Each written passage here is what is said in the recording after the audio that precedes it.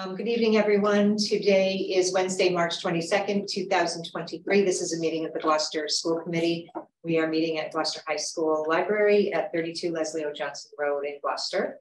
Um, consistent with Chapter 107 of the Acts of 2022, this meeting will be conducted by remote participation. The public may not physically attend this meeting, but every effort will be made to allow the public to view and listen to the meeting in real time and participate when, when necessary. I will state that the mission of Gloucester Public Schools is for all students to be successful, engaged, lifelong learners. Um, we are starting by going into executive session, um, and we will then return to open session to continue the rest of our business um, in public. Um, so I will make a motion that we enter executive session for two purposes. One pursuant to executive session purpose three of Mass General Law 39, section 23B to discuss collective bargaining with the Gloucester Association of Educational Professionals. And second, the approval of Personnel Subcommittee Executive Session Minutes of October 22nd, 2020. And I so move. Second. Okay, roll call vote, Maria, please. Mr. Melvin. Yes. Mr. Minio. Yes. Ms. Prince. Yes. Mayor Verga. Yes. Ms. Watson. Yes. Ms. Weason. Yes. And Chairperson Clancy. Yes. Okay, so we will be back as soon as we're done. Uh, we are, this is the Gloucester School Committee reconvening in open session on Wednesday, March twenty-second, two thousand twenty-three. Um, I ask that you join me.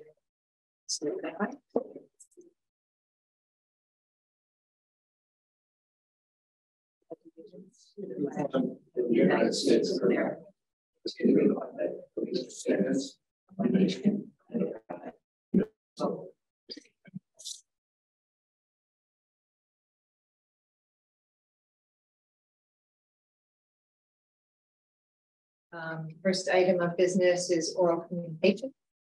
Um, I will wait for introductions till the presentation. We do have a wonderful group of educators with us this evening um, around the table for the public to know. Um, for oral communications, if you're calling in on a phone, you can press star nine to request to speak. If you're watching on a computer or device, there's a raise hand button that you can tap or press to request to speak. Please use either of these options during oral communications to be recognized.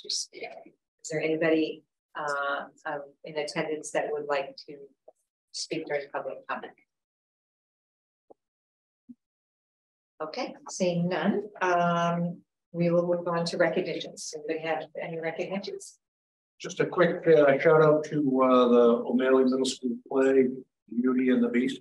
They've done a tremendous job with and uh, checking it out and really, really impressed by the the work by the students, the staff, and such. So great show.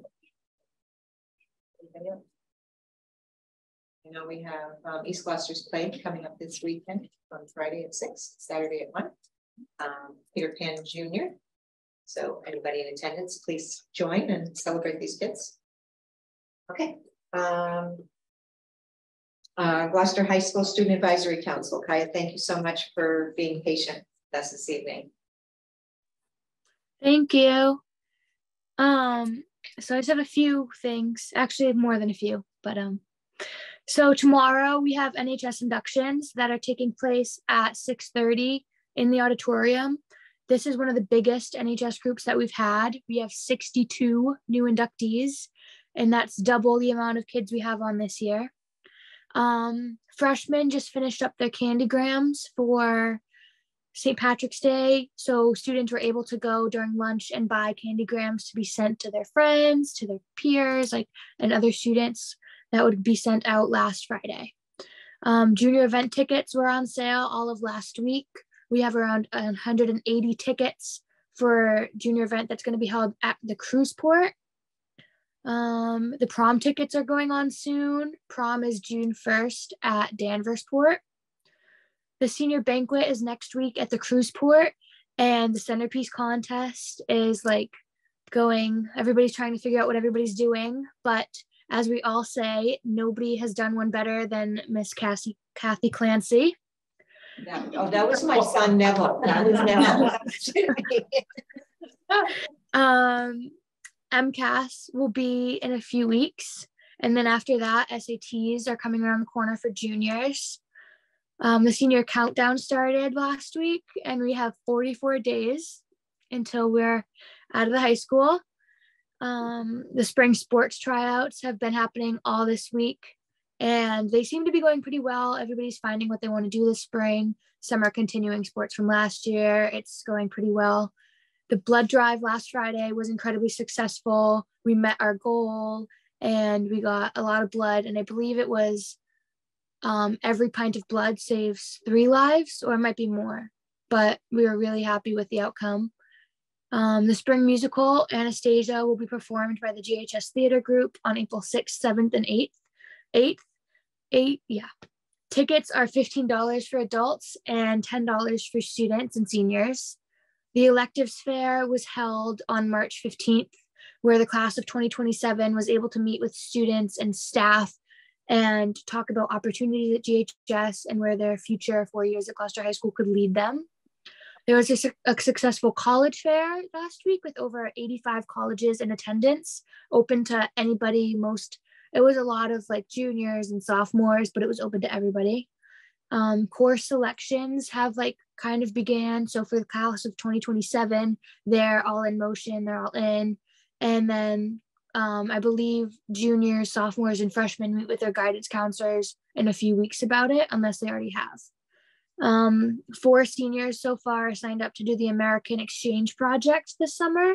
So they'll be traveling around the country while some people come here. And we're still looking for more seniors to do it, but so far we have four, which is good. And the American Exchange Project's mission is to create a more perfect union. Also, last but not least, the Interact Club has the pizza taste off on April 5th at the cruise port. And so I believe we'll have some new people and some old people. Well, not old, but like similar people, familiar people, and everybody's welcome to join. All proceeds go to the American Cancer Society. So that's really good. I believe we have a, like almost all of the pizza shops in Gloucester going, and yeah, so it should be really fun. That's all I have. That's great. Thank you. Can you tell me more about the pizza? Is that open to the public? Yes. It is, okay. What was? So I what- think you buy a ticket. And what's the time? Um, let me see. I don't think they told me the time. Yeah, they didn't tell me the time. They just told me that it's April 5th. So I will find out the time and I will I will email you. Thank you. No problem. Thank you so much. Thank Have a you good for being. Posted out of the running. Good night. Oh, Okay. Um, Next item of business is a consent agenda. Does anybody have any items they would like to remove? I just have a question on one of them. I don't know that we need to remove it. I was, it's just a quick question. Because I didn't see it. I may, I don't know if anyone else. Um, I just wanted to know how many chaperones were on the out of state. I didn't see it on the form. On the, for, for DECA? Yeah, Uh, I thought it was, I thought it was two of the three kids, three students going and the two adults going. Oh, Also, okay. also, I thought I. I also read the nurse more. or? Chaperone. It- The application was in our packet, but I couldn't determine that. Yeah. So, um, chaperone, so it says, uh, Christine Simmons is going, Okay, chaperones, uh, Scott Belmonte. Um, it's really sure. Yeah, just the two of them, two chaperones and how many kids? three students. Yeah. Thank you. Okay. I'll give a little update about the students that are going in a moment. Okay. Do we want to make a motion to approve the consent agenda? So move. Second. Randall, will pop up. Mr. Melvin, Yes. Mr. Minio, Yes. Ms. Prince. Yes. Mayor Verga, Yes. Ms. Watson. Yes. Ms. Weason. Yes. and Chairperson Clancy. Yes. Um, next we have deliberation on education issues and the superintendent's report. Great, uh, thank you, uh, Kathy. So. Uh, a couple things tonight, I'll give a short report about a bunch of things that are going on, have been going on in the district, and then we have a. A team of coaches here who will help us understand all the great things that are happening in K to five, uh, and math. Let me, um, pull this up.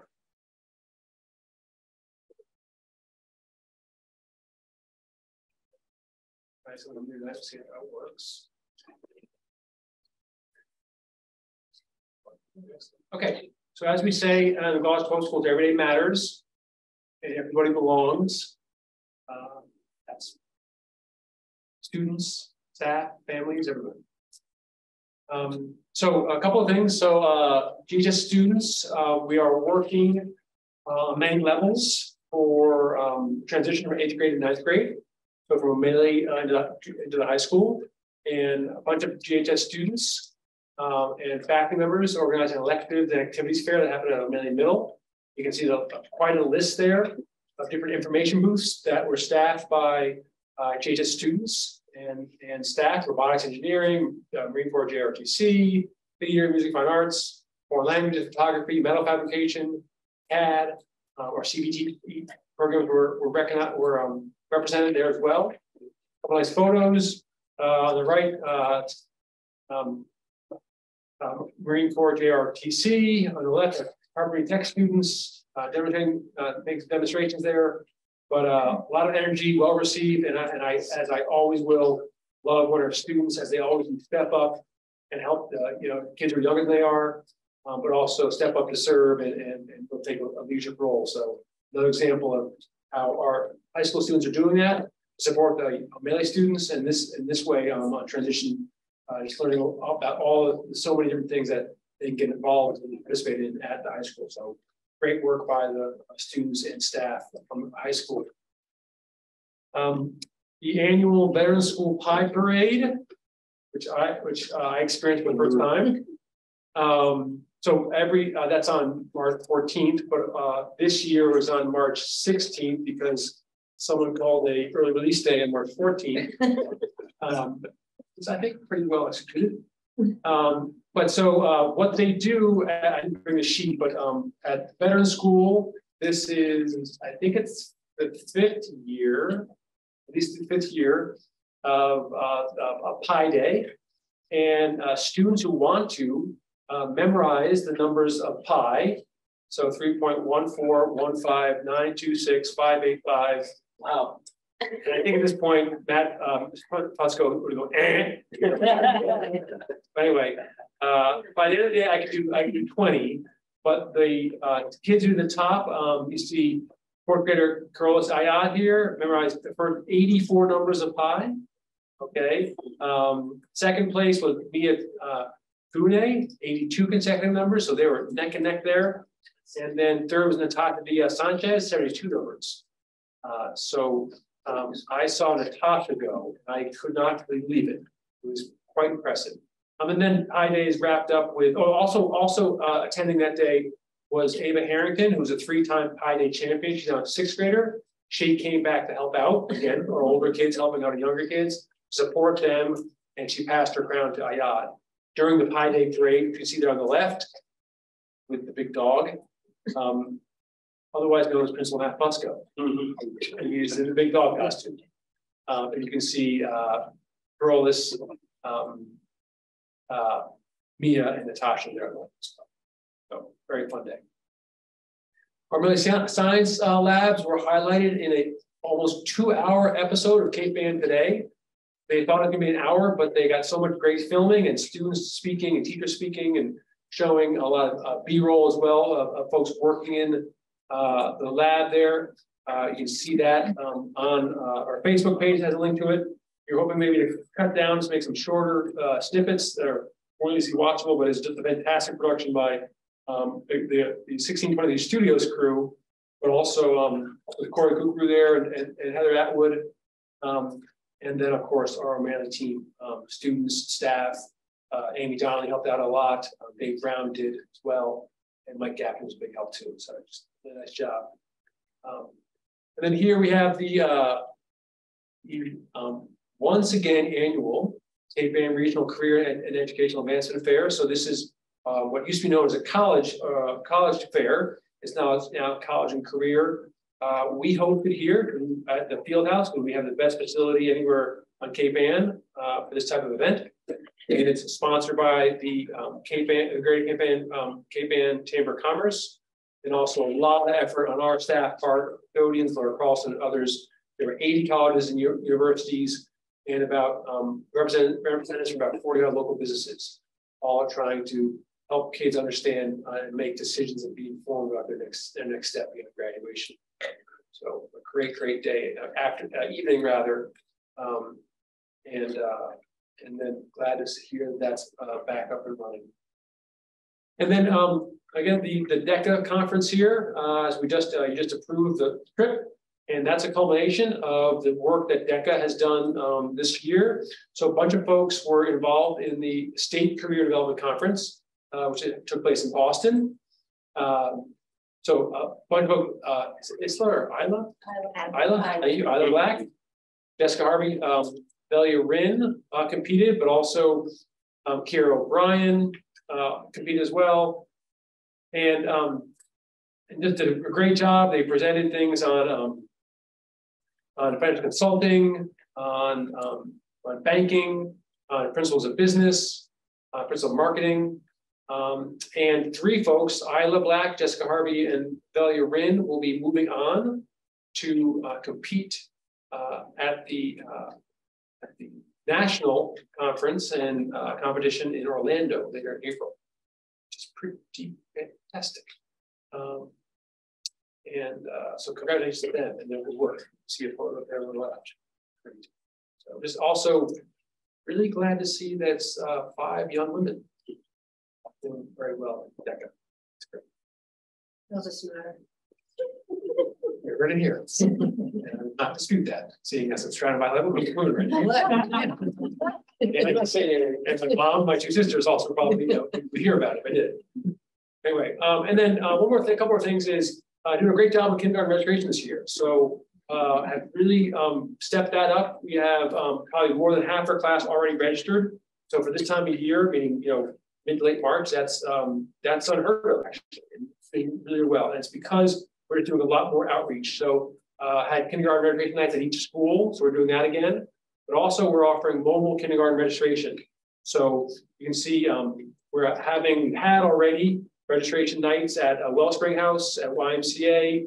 Uh, we'll be doing one at Pathways, the Upper Housing Authority, um, and also at uh, community centers at Riverdale and also uh, Willwood Housing.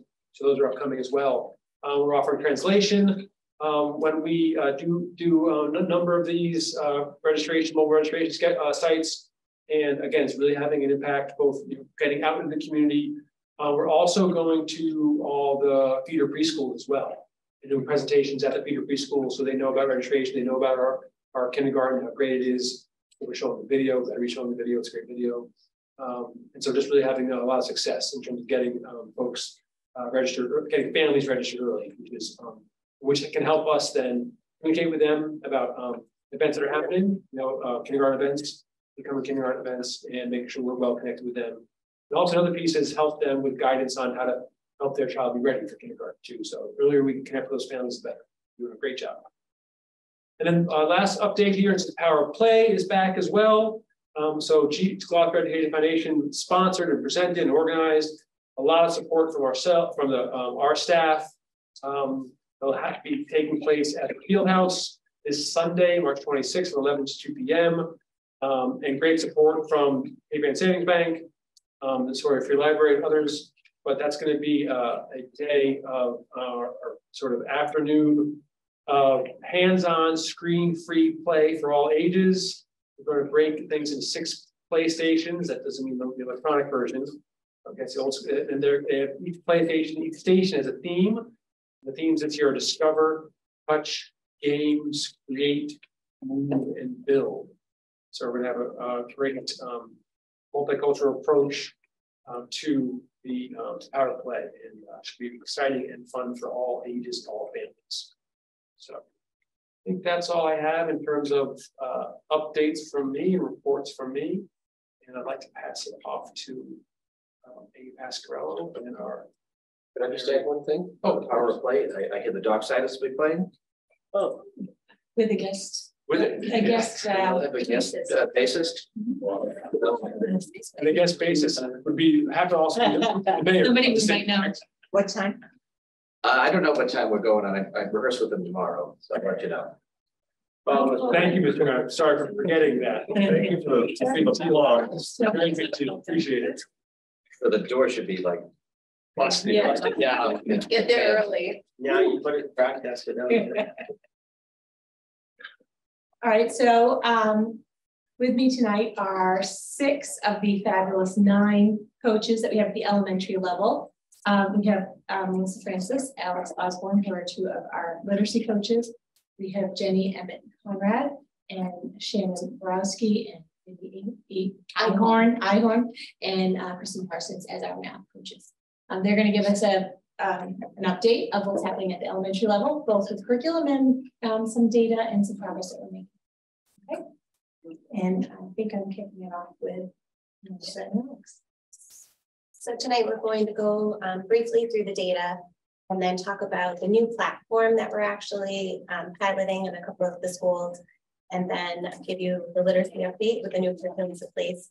And then we're going to hand it off to the math so that they can discuss their curriculum and assessments as well.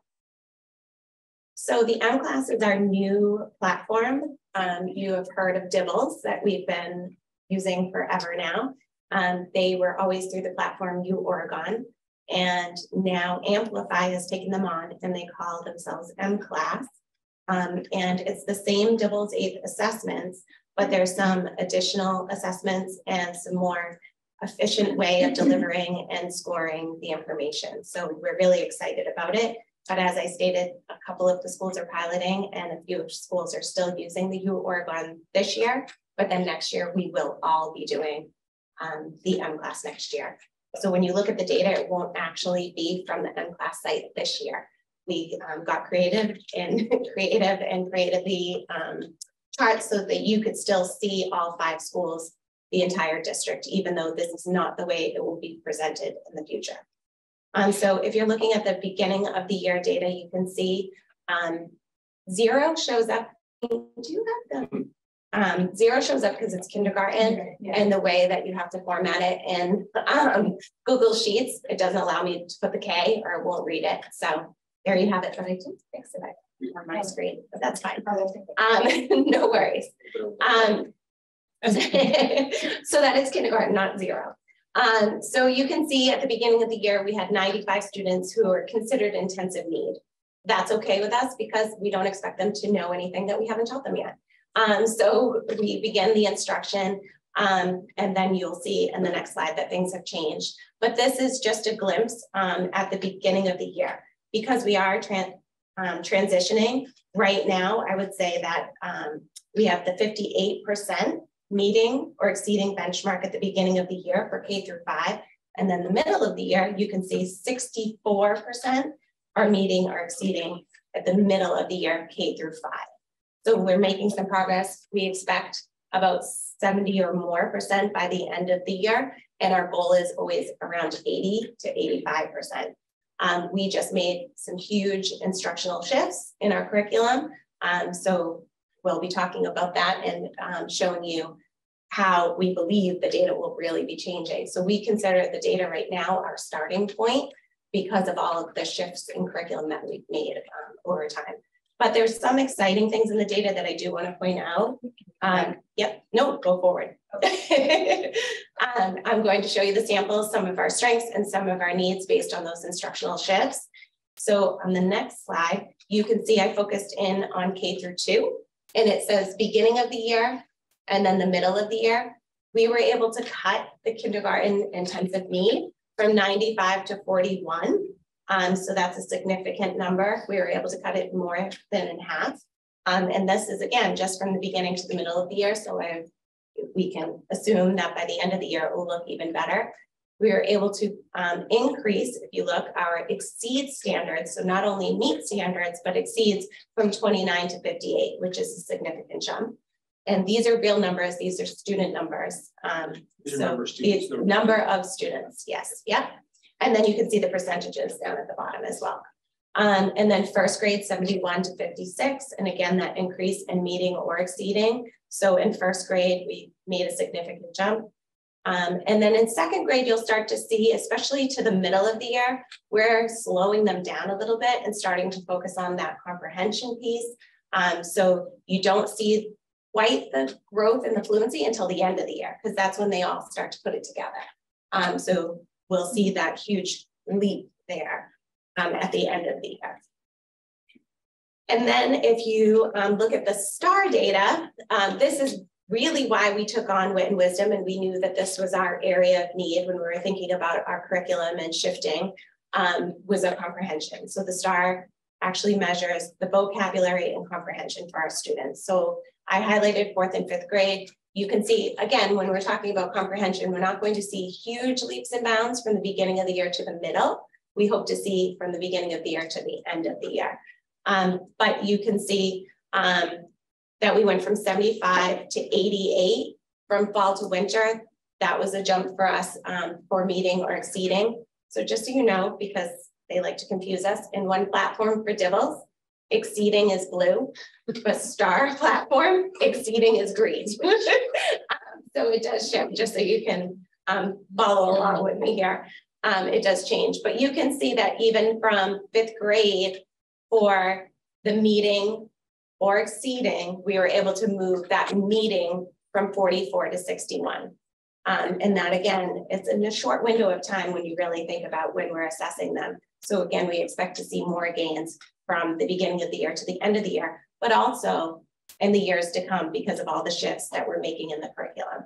Question? Yeah, why don't, I mean, just, I'm curious more than anything else, Melissa, why don't you see uh, the exceeding expectations? You know, I mean, it seems like it kind of, kind of stops right there at meeting expectations. Why, why is that? Well, I think because we knew that this was our area of need and we were realizing that children weren't bringing the vocabulary that they needed um, in the younger years to the upper grades. They weren't having the background knowledge and the understanding. Um, so that's why we really have shifted. And these, all of these students, because we're talking district wide, yeah. and we've only implemented in about 50% of the classrooms, haven't had the opportunity yet to build that background and to get vocabulary. Yeah. So I really think that over time, you will see the exceeding mark really take off because just listening to the students and listening to the teachers in the curriculum, which we will be talking about, you can see the shift in discussion, um, the Socratic seminars. I mean, the conversations that we walk into in the classrooms, children are building their knowledge and really having a depth of understanding that they just didn't have before. So even in one year's time with our curriculum shift, we're really seeing an impact. So I believe it will start to show in the data as the years go on. Like I said, this I feel is our starting point. Yeah. And especially as you have like, you know, kindergartners, you know, with wisdom, and, and then when they're third grade, then when second grade, third grade, that six years of building, yeah, I mean, as it you know, should, you know, to really grow year to year, as opposed to right now, we're just seeing, you know, like half a year, you know, um, for some of the kids, right? That over time should, should really build. Absolutely. So just to give you a little glimpse of what the M class does and why we shifted platforms, I feel like every time we talk to you, we're like, we're making another shift, we're taking another leap. Um, because things are constantly changing and improving and growing. And we want to spend the most time really focusing on what the students' needs are and providing the intervention that they need and the instruction that we need. We don't want to spend time assessing them.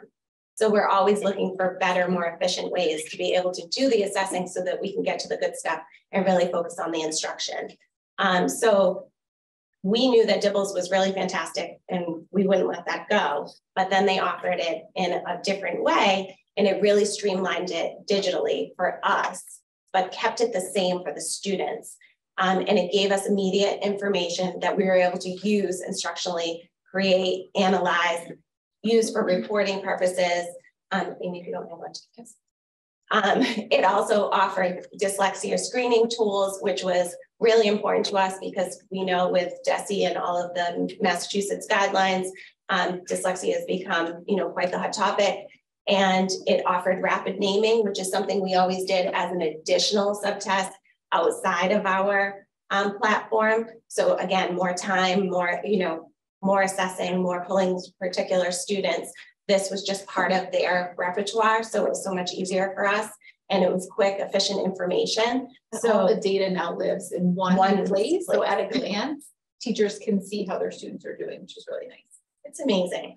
Um, and this is an example for us. We have an iPad. So the teacher, as you see, has the iPad in her hand and she's doing the scoring, but the, the student sees exactly what they used to see with DIBELS. So to them, nothing's changed, but for us, everything has changed, um, which is amazing. And then this is the sample right away at the teacher's fingertips that we can look at and analyze the student, where before it was in a paper copy and we'd be flipping pages saying, oh yeah, this is what they did here. Oh wait, you want to talk about Johnny and have to go through, you know, 16 packets to find that piece of paper that we were trying to explain what happened. Now we can just press a button and it's digitally there for you, which you got to experience during the data meeting time, which is amazing. But just quickly looking at this, we can say, okay, the student isn't completely blending yet. They're at the starting point that they're still decoding, that they have some vowel confusions, and we can dive right into that discussion rather than taking the time to find the information to share with the teacher to give it to them. Um, it's right there for everybody to see. So this mCLASS is a platform that allows you to do that. It's like a dashboard. for It's a dashboard. Yeah, absolutely. And does it fall under, I wrote a note earlier, does it? I've expressed this to Ben, one of the, one of the problems I have is like, I'm a huge fan of Wit Wisdom. Sounds like an O'Malley, we're introducing Amplify, maybe, does it, does it? Is it cross-sectional, I mean, regardless of where that data is coming from, it can get to mCLASS, is that what I'm hearing? Or, or, Yeah, so the Wit and Wisdom da- data is not part of this. This is a Okay. screening for DIBELS. So it- what it's doing is it's testing or measuring students fluency in reading. Yeah. You know, their letter knowledge and the w- ability to blend and. Yeah. Um, so it drives our instruction for students that are, if they're doing well at tier one with Wit and Wisdom and, and for this, it's probably more foundations related yeah, the phonics of it. Um, if they're doing well and, and we can keep pushing, that's great. If we're finding little glitches, that's telling our coaches that they're gonna recommend some extra fluency practice, or they're gonna recommend a double dose in foundations, or they're gonna eh, recommend some sort of intervention. We've been talking about MTSS, those multi-tiers of systems of support, so this will drive instructions if somebody needs a tier two or an extra event intervention. Got Yeah, so you- we have curriculum-based measures and then we have standard-based measures. And these are standard-based, big picture to give us information about where the breakdowns are for the students. But then the teachers also have the curriculum-based measures along the way with the um programs that we. once again, I'm somehow gaffed, the, uh, No. No. No, it's, the way I would, the way I would describe it is, um, you know, if, if a child's having a glitch with their reading, okay? What are supported by the coaches, our teachers can figure out what, what part of the reading process that, that glitch is happening. And instead of just having a sense or a guess or, or, you know, a feeling, it literally can like dig down in this data and, and, and unless I can use all the terms I can't, okay?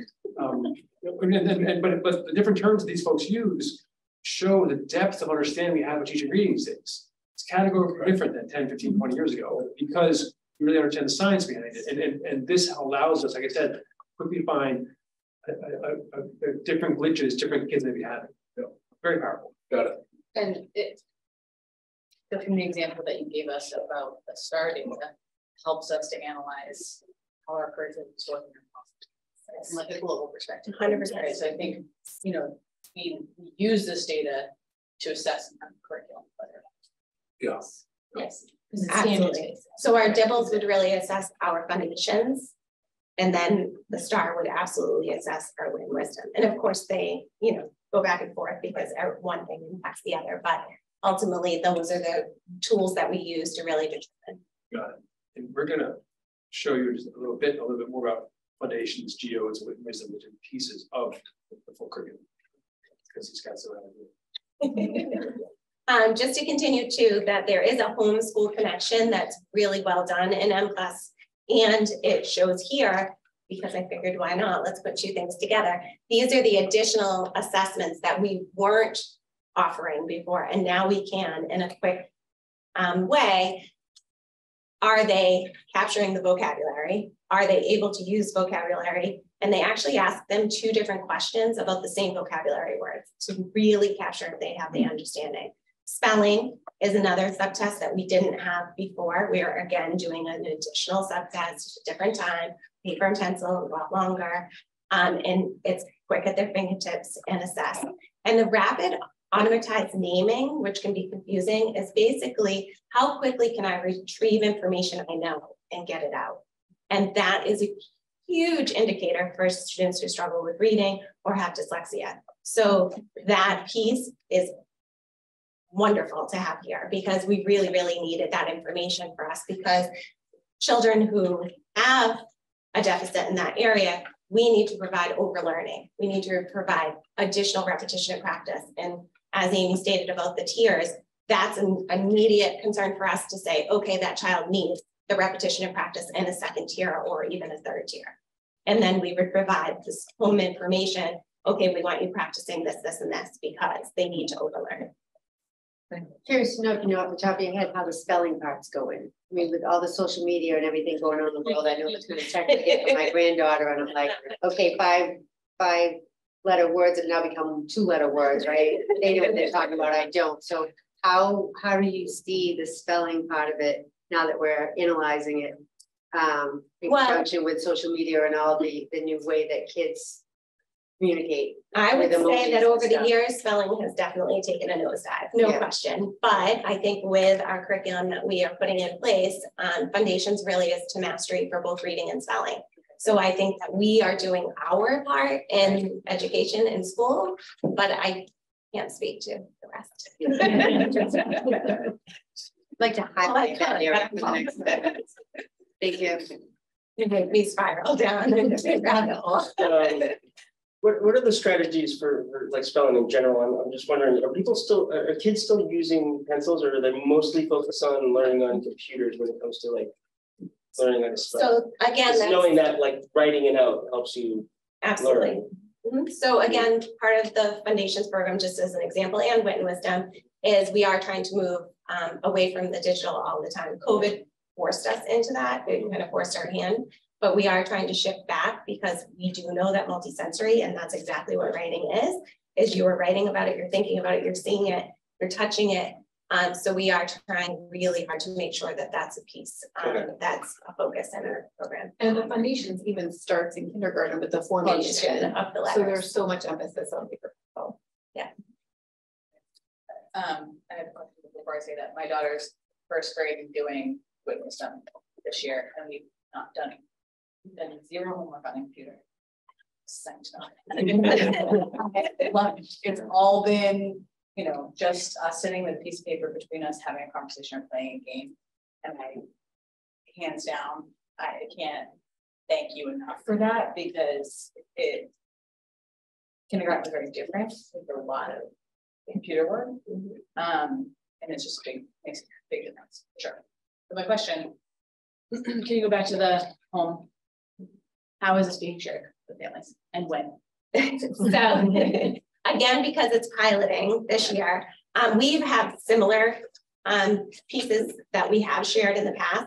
Typically, parent, um, it will go home at parent conferences or during report card time, or you know, the coaches will say this needs to go home. And I usually will send like a little class dojo message, like, hey, this is going home. If you have any questions, let me know. Um, but usually we try to do it face to face during the parent conference time at the beginning of the year or when they're expecting information like that. And a lot of our teachers do progress notes and that would be the time. Um, but it's always something that you have access to. So it's something you can ask for. And again, because it's a new platform, people are still learning. Um, but in the future, you should see something like this going home. During report card time, I would say during our benchmarking would be the most appropriate. So beginning of the year, midpoint, and then end of the year. And um, across the board or only if there's a concern? Well, I think that it depends, and I think that's something that we could definitely discuss as making more universal. Um, I, I can only speak to what happens at my school. Um, we typically, I pass them out to the teachers during their parent conference time and say, hey, can you add this in in the conversation and happy to be there if you need me and things like that. So I give them all of them. Yeah. But I don't know for sure if everybody gets them. I'll be honest about that. Yeah, I mean, I'm just one person on the committee, but I would love it to be universal. Yeah. I think more information, the better. I think obviously there needs to be some support for staff around parents' concerns, right? There's obviously gonna be a lot of questions around some of this, um, because going to be in a lot more. Yeah. I think by giving more information, but I think you're also gonna be some anxiety. And, um, I think just the more information, we do this for a reason, and families really need to be a part of this conversation. Um, and so far, it seems like a lot of this is unless you ask, um, or unless there's a big concern that it's shared. So this platform is only at three schools this year because of the pilot. Yeah. So next year would be a year that. we could be talking about doing something Absolutely. like. And I keep saying, I really believe that this is a starting point. I feel like every time we come to you, it's something new and exciting and we're, we really are just the, at the starting point. But I do believe that those discussions with the coaches will happen because we just told our coaches the greatness of this, right? The pilot. So then next year they'll be learning how to use that and implement it. And then I would say the following year, we can really create those universal things, just like we have with the curriculum now. That makes sense. Thank you. So we're going to jump into the um, curriculum updates unless there's anything else about the data.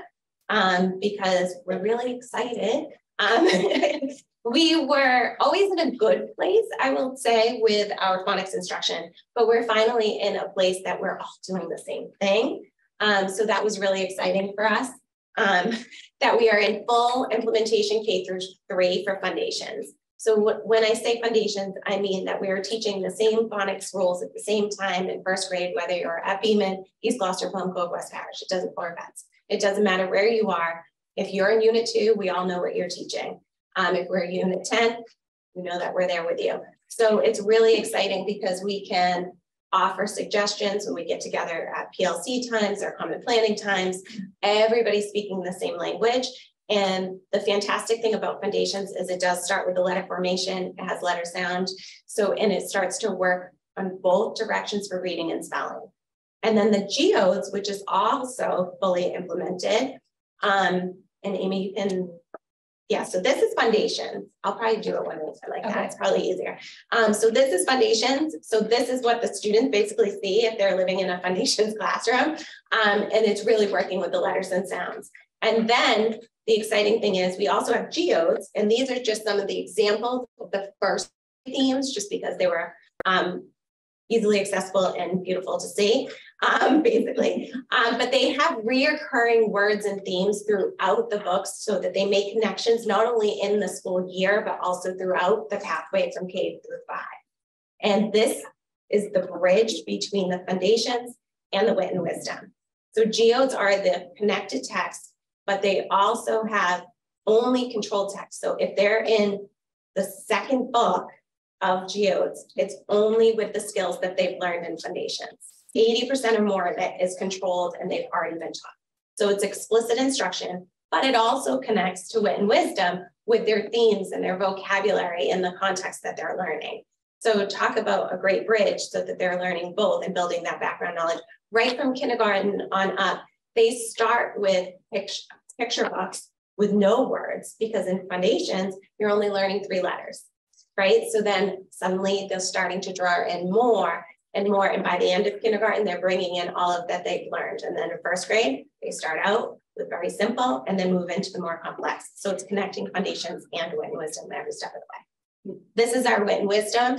And we've talked about this before that um, there's four modules and the color coding is actually um, based on whether it's science, geography, um, English language arts.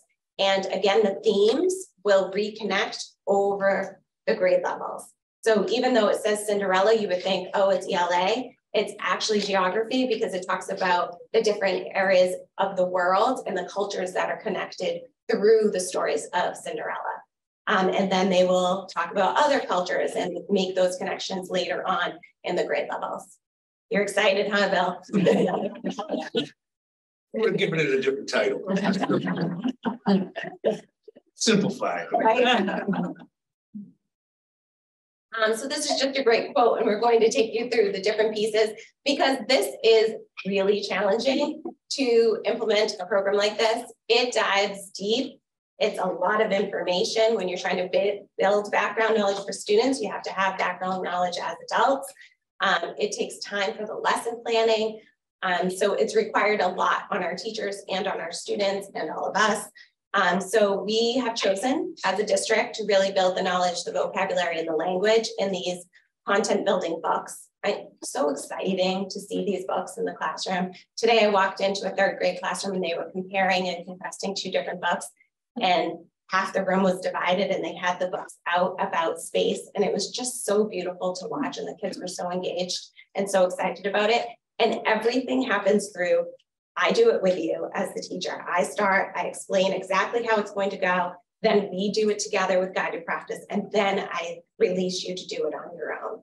And it's a beautiful thing to watch in the classrooms happening. Um, skillful implementation. This has been a change of um, thinking, planning, building routines. The teachers will say things like, there are no routines. I don't know what I'm going to get the next day, you know, because there's so much information. And as you know, when you have discussions that can take you in a million different directions with students and you're redirecting them, but we always tell them just keep thinking of the four domains of language. We want them listening to great text and information. We want them discussing great text and information. We want them reading great text and information. And we want them to be writing about that. So if you're touching on all four domains of the language every day, then you're doing your job. Um, there's a module that you just saw, and then there's arcs within that that they're focusing on particular questions and diving deeper. And it always ends with a writing task that they do. So it wraps it up nicely, and we can really see clearly in their writing did they comprehend what it is in this module that we were hoping they did? Are they using the vocabulary? Are they using concise language? Are they capturing what they were expected to? Um, yeah, just a question. So 50% of the district is using Wit and Wisdom at this point. So what, how do you envision, and next year it'll be full? Yes. So how do you envision sort of the transition for the students who haven't been doing it, right? So they're, you know, it looks, it sounds like perhaps there'll be two different levels going on.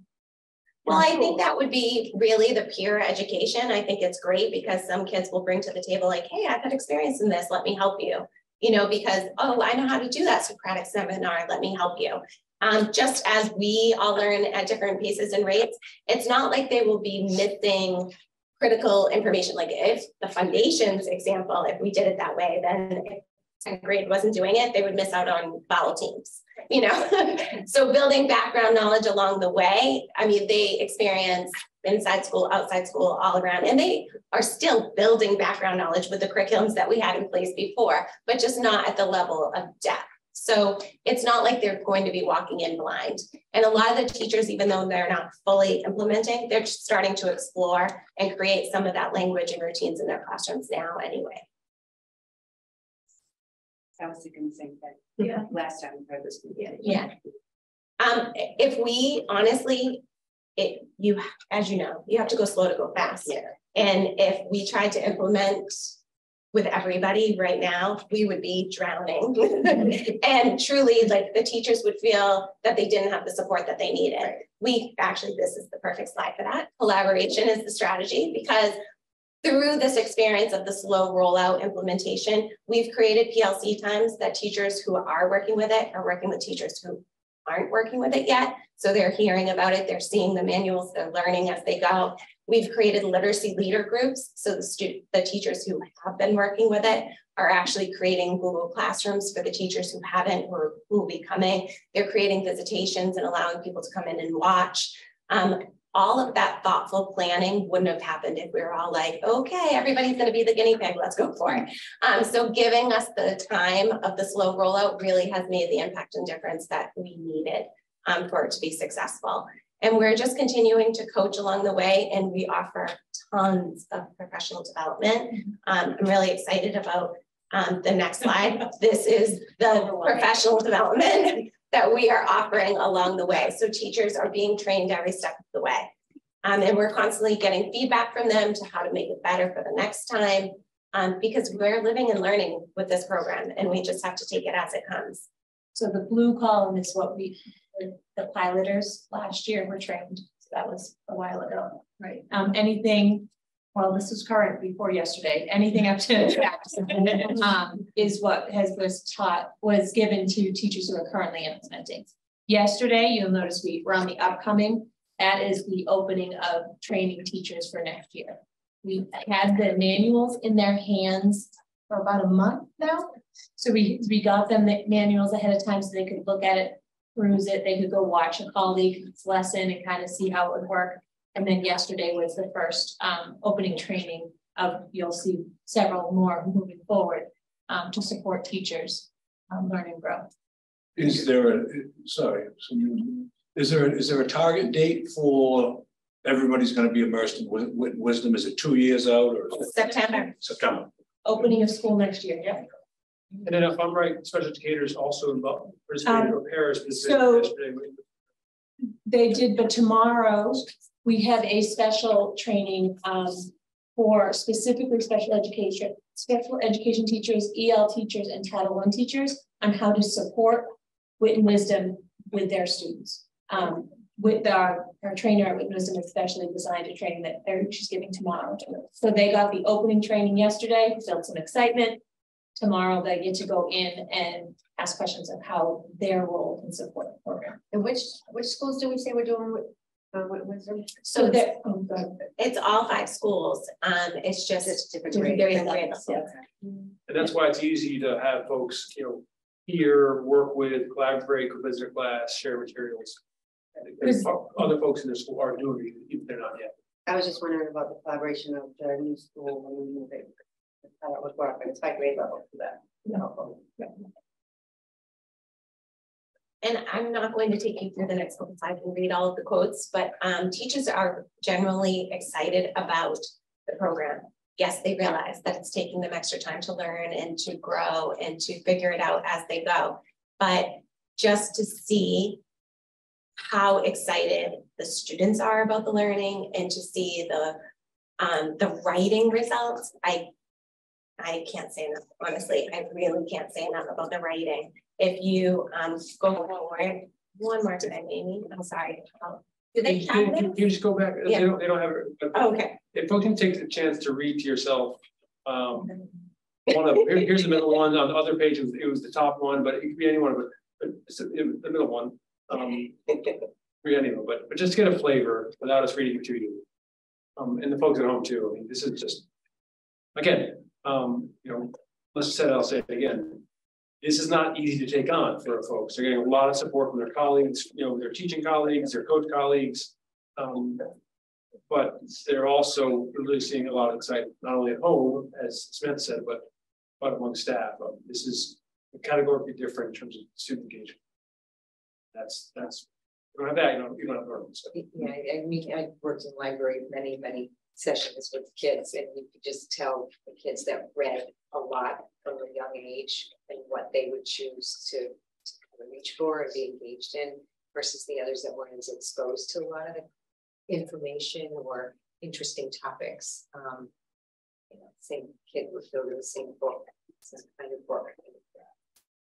Just having them exposed and, and learning about real subjects as well as, you know, all, all the literacy. Mm-hmm. That's the issue. absolutely. And I think the writing too, and we've said this before, but it's so important to reiterate is. We would say write more, but the teacher, the students would always say, well, I don't know what to write about. That is no longer a problem. They know exactly what to write about because we are providing that depth of knowledge for them and that vocabulary. So they can express, they never run out of ideas. The teachers are actually saying, okay, they have been writing for days. Can we like shrink this down so we can move on? How do I do that? You know, and that's a real great problem to have, a really great problem to have. So this was just a couple pieces that I captured um, along the way. I just happened to walk into the kindergarten room and they actually had just created, which it's hard to see in these pictures, their first paragraph. and she calls it the um, hamburger bun because at the top, your first bun is your topic sentence and then in the middle is their details. And then your bottom is your conclusion. And they were learning about school long ago and school now. So they were saying they had to make a choice um, if they liked school long ago or school now better. And of course, they all chose now. Um, but they, and then they would talk about things that were different. And they had the microphone, which was the most adorable thing because they had to present and share their paragraph. And the microphone was out here and they were talking. Um, but it was just so beautiful to see them so engaged, again, listening to others, discussing. They read multiple stories about school long ago and now, and then being able to write about it at the kindergarten level in March. Um, so it was really incredible. And then this piece in the middle was a third grader. Um, and you can just see what a difference, you know, from the kindergarten. And she was asked to write about a C tool um, from all of the learning that they did. And um, that was just a piece. That's beautiful. And it actually says, and now add an illustration to add to the comprehension of the work. So I think that that is a shift too, even the language that we're using, add an illustration to add to the comprehension of your writing. Where sometimes it's just to draw a pretty picture and had no connection to what their story was about. And this is just more examples of that. And then this, I just want to end you with, um, because it is from a student. This program is so much better than what we did before. We don't just read a story and move on. I like how we're reading the story and all the work we do with it. We are getting deep into the story and doing real meaningful work that I love to do. Great, great. Anything else? Thank you. Thank you. Thank you. Tremendous stuff. All right, and now we're gonna hear some about our math. Right, our update's a little briefer. We have a lot going on this year. We're saying she was verbose. And I was trying to be brief. Teasing. Um, as you know, we're in our second year of full implementation of Math in Focus, so we'll talk very little about our, our curriculum and more about the other things that we have um, going on. For assessments, we continue to use E&I, which we talked about before. Um, which is that one-to-one, um, administered one-to-one with students in kindergarten and first grade, where we're looking for a number identification, sequencing, and applying discrimination. And then for grades one through five, we continue to use the STAR 360, um, which tests the more grade level skills and standards. We use that for the benchmark three times a year and progress monitoring throughout um, both E&I and STARS, what we use for data meetings, um, intervention decisions, and our enrichment groups. We also have um, the fact the Math in Focus chapter test, which we um, use more informally, and um, some schools have been focusing on their chapter test question analysis at their PLCs. So we've been doing a little bit of a deeper dive into the alignment of where it falls in the in the chapter and what teachers can do to make sure it's adequate exposure to the types of questions. Um, fact fluency has become our district focus really. We kicked that off this summer with a book study. Um, and then we brought it back to the building level where we developed goals as coach team. We collaborated with other grade level teachers. So they had their goals tied with our goals, and we were doing some that fluency focus through the through games through this book that we read. Um, and then we also had some schools bring this back to the PLC and read read it through in small teams, um, as well as having teachers just read it on their own to inform their practice. Um, we are pretty excited to share about do the math. It's an intervention um, that we are using across all five schools, grades one through five. Um, it comes with 13 modules, we happen to have all 13 in every building. So we are really excited that we have stocked stocked all the schools now. And then some schools have been piloting an assessment component for the intervention, and they'll talk about that. Um, a little bit for data. Um, this is E&I. Our kindergarten and first grade data is looking really good. Um, you can see we have a side-by-side -side analysis from fall to winter. Pretty excited to get to the end of the year so we can show you the, the progress there. Um, but you can see we have currently, or this is actually old data from January, but we had 17% um, meeting expectations at our winter benchmark in kindergarten. Um, and you can see we also moved um, students from yellow and red down and into that green category. Um, and in first grade, we are at 69, so just, just behind kindergarten. Again, moving red and yellow. Our goal is 80% for the spring, and I'm feeling very confident that we'll get there. Um, next, you'll see some star data. We have increased green in all grade levels, while also decreasing yellow and red at all, all grade levels, first, first through third there. And then I think you can quickly see it um, on fourth, fourth and fifth, yes. We use star data. Um, we look at it by grade level as a total, which is what you see here. We'll look at it across the, you know, the districts and look like you had said before um, to give us information on the curriculum. And then we'll look at it by homeroom or grade level school-based and then by homeroom. Um, and then we will also dive deeper and look at it at the student level. Um, we use that individual data for child study, student intervention groupings, as well as our enrichment groupings. So not only do we look at it as across the whole grade, but at that individual level. Can I ask a question? Sure.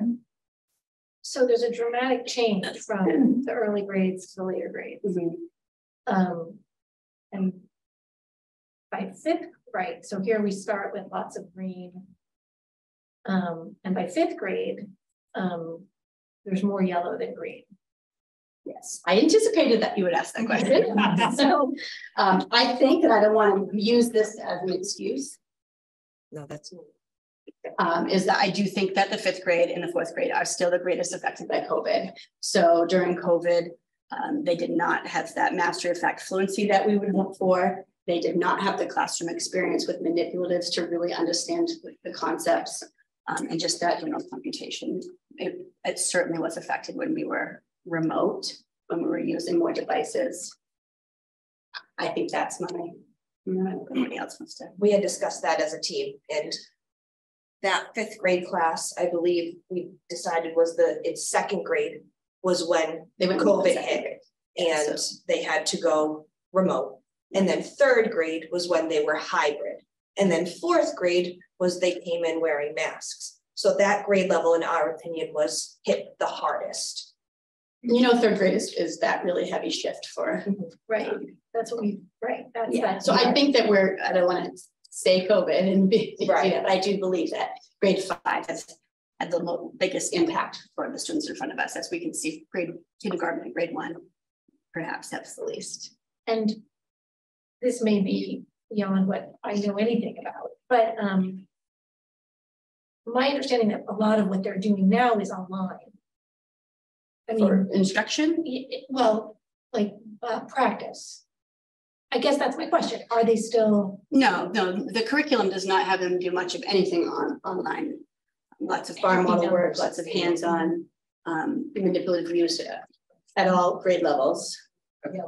so so happy numbers is something that they use to practice at the lower levels, but that's an independent thing or a center, that's just the bulk of it. Yeah, no, that's just like an extra fifteen or twenty minute extra practice, whether it's in the classroom or at home. So they're doing paper and pen. pen and pencil. Yes, their curriculum is all um paper. They they have multiple workbooks, multiple workbooks, student workbooks, and then extra workbooks. Manipulatives, What lots Math and. Focus does, we have the platform where it correlates, the online student version correlates with the workbook. So what some teachers might do is have the students show their work in the workbook and then put their answers in on the online platform. For assessments. Sorry, yeah, because that will give this, the teacher a deeper analysis on what questions the students are having errors with.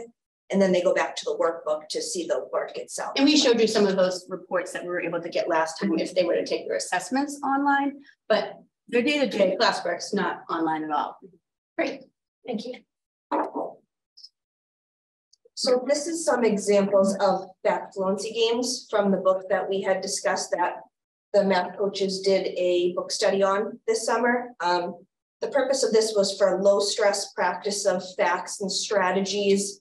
Um, think alouds, listening to peers, discussing strategies. We know that now, sorry, I just mixed up my slides here. We know that research says now that time tests are not the way to go for mastering facts. It should be hands-on, understanding the concept, making those connections from one fact to the other. So these games are where we like to gear towards more, and that's the route that we're going. Um, the games are introduced in school at the schools, and then some of us send the games home to play siblings, with parents. Um, teachers can observe the students instead of giving the time tests, and then they can ask questions about their accuracy. Um, it gives teachers the opportunity to ask questions. How did you get that answer? Instead of just having the students write their answers out and calling it a day. Um, it also gives the opportunity for differentiation within the games. You might have some students that are trying to master their plus one facts, where other students are ready for their combinations of ten. So you'll see a lot of differentiation in the classrooms within that. It gives us a chance to enrich our students and also work with our students that are struggling. And the observation tools, like I said, allow for more communication between student and teacher and really understanding and getting a strong idea of where the students are at within their facts. And this is what I was talking about when we set goals with bullet classroom teachers. We had different grade levels. It was like grade one and two, I think we partnered with most. And as coaches, we've been able to assess students one-to-one to really dig deeper and to know individual students' faculty and their strategies. We had those one-to-one conversations. We weren't timing them, but then we'd say, "Can you explain your thinking? How did you figure that out? And that's how we determined which games and what they would be put into. Yes, those interview tools that, um, The previous slide. the, the interview tool is, um, excellent for whether the coach or the teacher administers it in that one-to-one setting, low stress, as they mentioned, and gives us that information as opposed to that kill and drill type of thing. And then also as, um, the next one is just an, a teacher, second grade teacher who took the book study, really ran with it and felt strongly implemented it this year. And we've been working together and she feels, you know, that this was very different from the way she learned her math facts, um, and how it helps build their confidence, um, which does impact their entire uh, math experience. And um, these are those foundational skills that they're going to carry with them, building blocks throughout um, their experience. And at the bottom there, it's just a quick chart showing how the program helps build their foundational facts, which we do with the Math in Focus program also. So nicely aligned. And the order is not that natural, like that one, two, three, four. Exactly. So you start with that plus and minus um, zero, one, two, and then once they've, they call them foundational facts, once they've mastered those, then they go to the derived facts, which would be more like near doubles and doubling.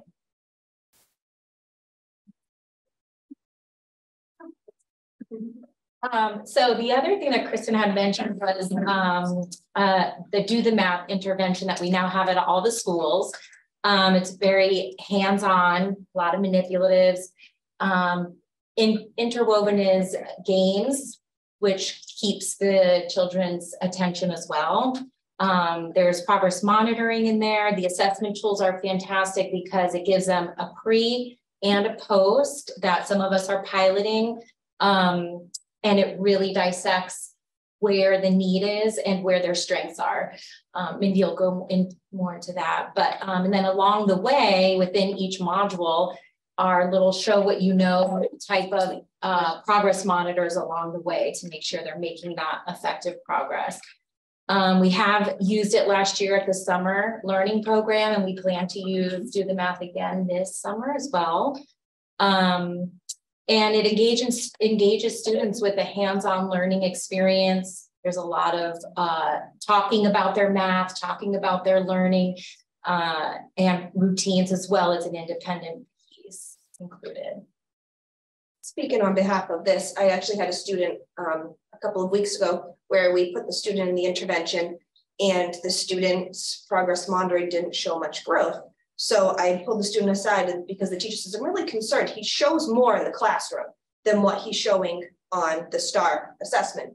So I pulled him aside and I said, can you explain to me, you know, how does STAR go? What's going on? And he's flat out third grader said, well, I know if I do good on that STAR, I'm not going to get to do my math intervention anymore. And I really like those. Uh, I, I was like, okay, touche, you are.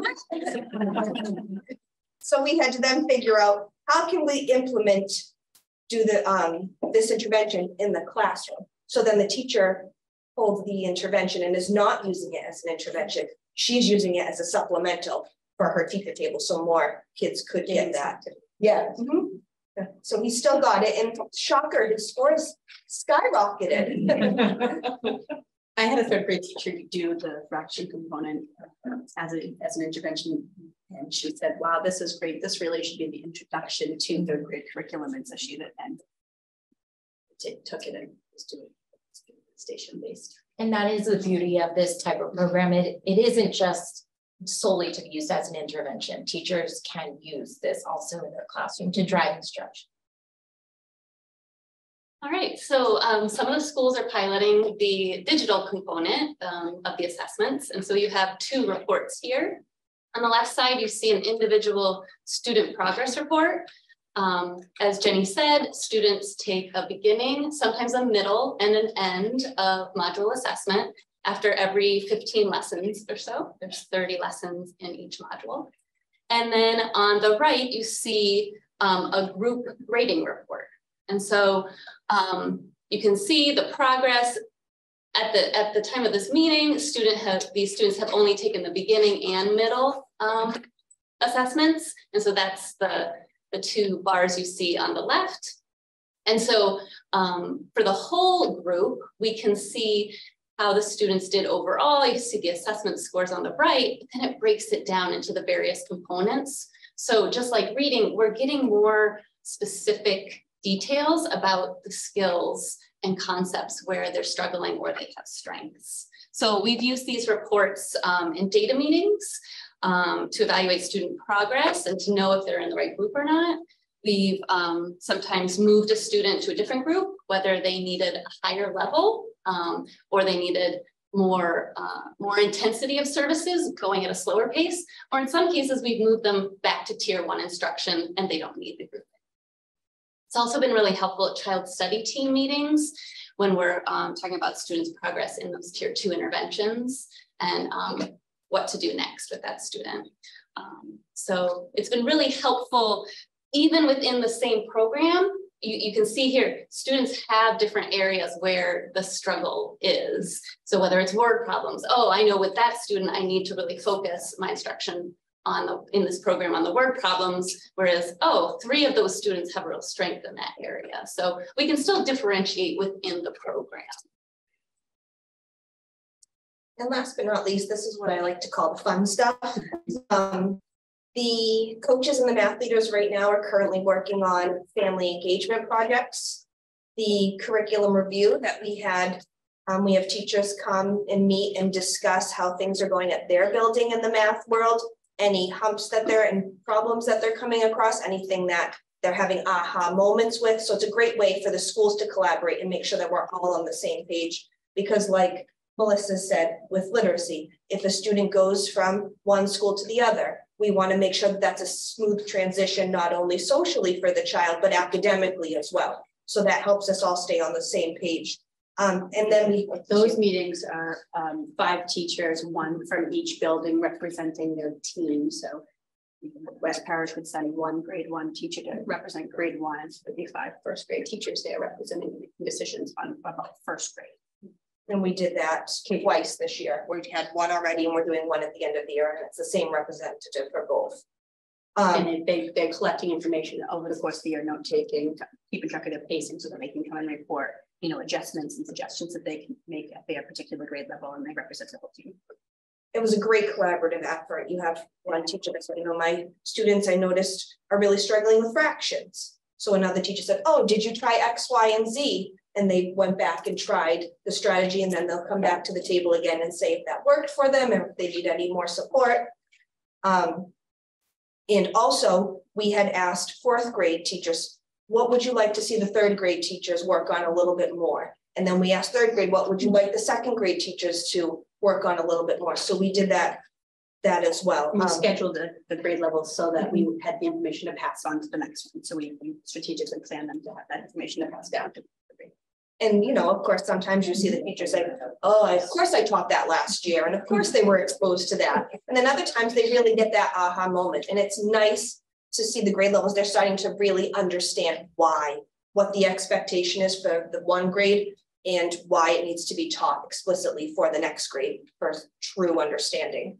And then of course we have our math-based theme days that us as coaches decided to take on. We wanted to do more engaging activities for the students on specific days. So you saw the Pi Day picture. Um, we've also did the 100th day here you see there was a backdrop and students had props that they could celebrate the 100th day. Um, we also have a scavenger hunt that was put around some of the schools. So this is a group of kindergarteners that had to go around the building and find the letter K for their grade level and then pull it up. And there was a question. Within those questions, we tried to put in kinesthetic movement. We tried to put in math talks to support that end of it. And then I even saw at my building, some third graders were looking for fourth grade mm-hmm. material mm-hmm. and they were pulling it up and working on that together. Or some fourth graders were pulling up second grade material. You know, you had your ELL mm-hmm. students working with your English speaking students in different grade levels working together. Um, I had a fifth grader and a kin and a kindergartner walking around the building together trying to find the letters. And then we also are doing stuff for Red Sox opening day. And I think those are our only different, yeah, different buildings for different holidays for Thanks. Um, first, do you just mind saying which school and teacher you are at, please? Sorry, East Gloucester. Plum Cove, Plum Cove. Beeman. West Parish. East Gloucester and Veterans. Cool, thank you. My question is, as, as this whole group is talking, I can't help but sort of think about the difference in um, our teaching models, like some platoon, some don't, I don't know what the word is, or what. It's not platoon, has, but yeah, because they're teaching Jamal, yeah. Um, and I guess I'm curious, do you notice a difference in a teacher's bandwidth to access all of this that you're talking about for those who platoon and those who teach all of it? And that's a really big question, but it seems like this is a lot for a teacher to access. You know, just one teacher. I can, I can only speak to East Gloucester and say that platooning is the best thing we ever did. Yeah. Um, but I can't speak to say like if it's not working the other way because this is all we know now for grades one through five, and it works really well.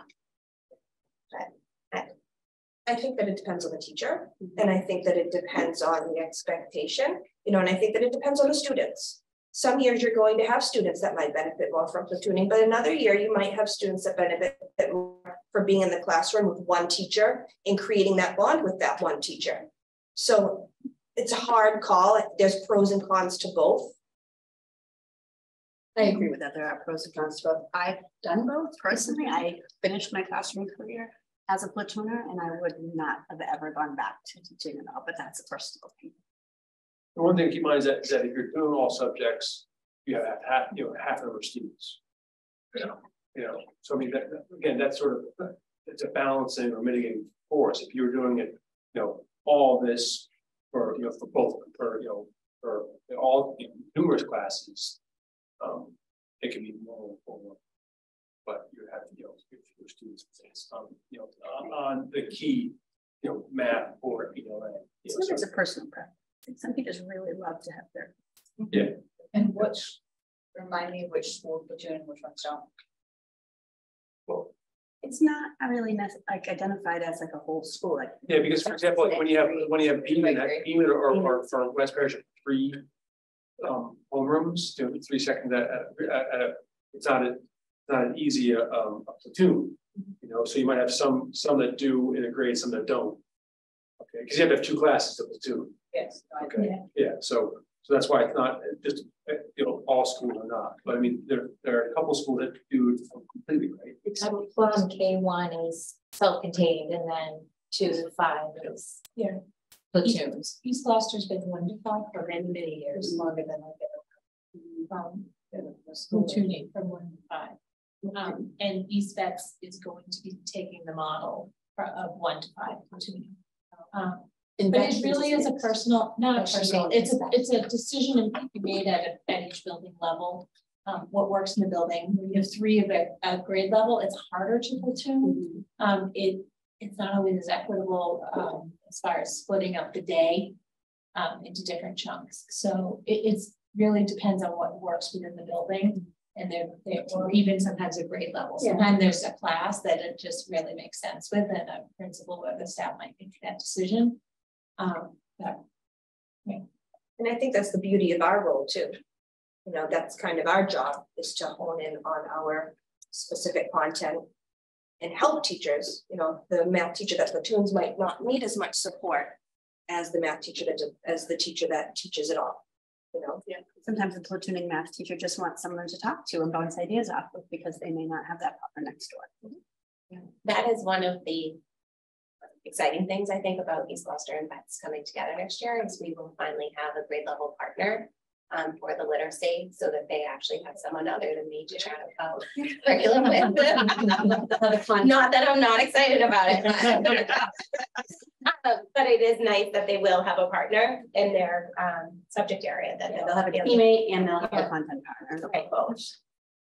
So it's Okay. exciting to see that coming together for four teachers in the same grade, grade level. It'll be interesting to see how it all plays out, but it's really exciting to see it. And so that's like the pros and cons, here, like you West Parish might have three teachers that they all coordinate together. Yeah, they, they have a buddy to say, They have a wow, that lesson really. Yeah, yeah, was yeah. hard. What did you do? What can I do? You know? Whereas at East Gloucester, if you're teaching one grade math, you're the only, there's nobody to talk to other than math coach, right? What about other elementary schools? Yeah, they'll collaborate when they can, but Oh, on the yeah. day to day, it's trickier. Like a common planning time at West Parish would be a team of maybe the three classroom teachers, the coaches, and, you know, just maybe the special ed teacher, the common planning time, would say East Gloucester, you might just be stuck with us. Right, but the, the wonderful thing about the platooning is they'll always say, come visit me in the afternoon because they've already done it once, so they feel like Yes. masters by the afternoon, you know, like, hey, this is my second time through this. I know how to tweak and change it, so it's almost like they get two years of practice in one year's time. So they really become Experts. experts of the programs. And what's just as exciting is that we do this with all you coaches, because there was a time we didn't have any coaches here. So, well, with, while there's excitement with platooning, I sit here as a school committee member, excited about coaches. So that- Thank you. I did a great presentation. Just one question. Oh. I did not see you. You have no- Bill. Question and then just a quick couple of comments. One is, uh, I, I sometimes get concerned about the amount of testing and monitoring, like, you know, that's, that's a lot of that goes on, you know, and I, I think the opportunity to kind of lose that one-on-one connection that a lot of students need. Uh, do you sense that at all, or is that just part and parcel of what we're doing now? There's a lot of testing, a lot of monitoring, a lot of measuring. I think we're getting better at it. So we are spending less time doing it, but finding out more information. And that's exactly like the platform that we're talking about. We're able to find out valuable information without having to spend oodles and oodles of time doing it. Um, so I think that we're doing a better job with less time with fewer assessments. And that's like our fact fluency piece as well. S- Teachers are walking around with their observation tool, Yeah. which is a piece of paper, and they have no idea they're even being informally Yeah. assessed. Teachers calling in their head, okay, did that, that come within a numerous, se- you know, seconds, where the student's not like, oh, it starts stop on. Right, Yeah. they're playing a game and the teacher's listening to their conversation, but at the same time assessing what the conversation is. asking specific questions or, and that, and there is that intimacy when you have that interview type of experience as opposed to start and try to answer twenty questions. That's high stress also. And that's also one reason why we've been trying that pilot for the do the math, where we may be able to do some progress monitoring in a small group of five or six. And maybe remove a month's worth of a star, perhaps, say. An example could be like, let's remove February's because we're, we're going to be progress on just those six students that are in that group. We don't need to progress on the twenty students in the classroom. Yeah. Well, the second, something that is, is, um, you know, for example, the mCLASS, that's a, that's paper and pencil for the student. But it's being recorded digitally by the, by the coach and others, and so we can get to access to that data. That's one piece, is it isn't all, it looks digital, but isn't all digital for the students, first of all. The other piece on assessment, it's crucial, is, is purposeful. You know, and, and if it's, if we're doing to do it, or we're doing a lot of it, we're not getting something, not getting information that helps us. You know, then inter- um, intervene or support or teach or or teach better, then that's a problem. But it's purposeful and, and we know also how we're using the data, then it's value. Otherwise, you're just doing, keep on weighing, you know, measuring. it. That- Yeah, and I look at it constantly as like, it makes that one-on-one, that face to face time. Yep. Because we just know each student better. Absolutely. My, my second question is more geared towards uh, maybe kids that are on an IEP, especially, you know, kids that are involved in special ed. Um, one of the things that's important to me is that, uh, that kids, it seems like this is a perfect tool, and I think as teachers, obviously dedicated teachers, that you're aware of this, but that we're recognizing those kids that are improving and kind of building them up and saying, you know, in a perfect world, you know, parents are involved, they want to see the child. That's not the reality. There's a lot of parents that are disconnected from what their kids are doing in school and for whatever reason, it's just not a priority for them. And I think that you people are the only conduit for those kids that can really kind of build them up and say, you know, you're pretty good at math, so stick with it. Um, so just any comments on that? I mean, parents kind of, sometimes, especially with special ed kids, they're not general broad brush statement, they're maybe not as involved or as, you know, invested in that. And I just think it's important that the teachers that are doing all this work kind of kind of promote those kids and let them know, hey, pretty good at this. So well, the STAR assessment for math specifically, and I believe reading does as well, shows a growth report. So we don't always focus on if they're going to reach benchmark because they may not, they might be a special ed student, but we want to make sure they're making growth. Right. So that's a, a big part of our assessments as well is is the growth there. Yeah. They may be from red to yellow or stay mm-hmm. within yellow, but where they making the expected growth. Yeah. Mm-hmm. And that's a celebration that can happen between the teacher or the coach and the student. Yeah. They can say, look, you have grown this far this right. year, you know, really build them up. Right. But I can say we witness it every day. If there's, I mean, connections and celebrations within each and every classroom. We have some really amazing teachers and staff who build those. I mean, truly their only purpose in the day is to make sure that the children know that we want them there yeah. and we're happy they're there and we expect them to learn while they're there. Yeah, right. And, you know, we set those high expectations and we want them to reach it. And we know that they. Yeah. Last thing for me is just a comment on uh, the work that you do. I love to watch people that are really good at what they do and, and dedicated to it. So glad you guys showed up today. We were cutting slide by slide. It's, it's just so, I'm, I'm literally your biggest cheerleader. Like, whenever I talk about the public schools in Boston, I say, we do such a great job with wit and wisdom and math literacy and people involved in that. Um, it is just some impressive stuff. If, people want to question where, where, where are the Boston Public Schools, start with this and then build off of that because that really uh, it's it's I don't think I could be any Despite the fact that I think every every fraction strategy was probably used with me, and I continue to fail.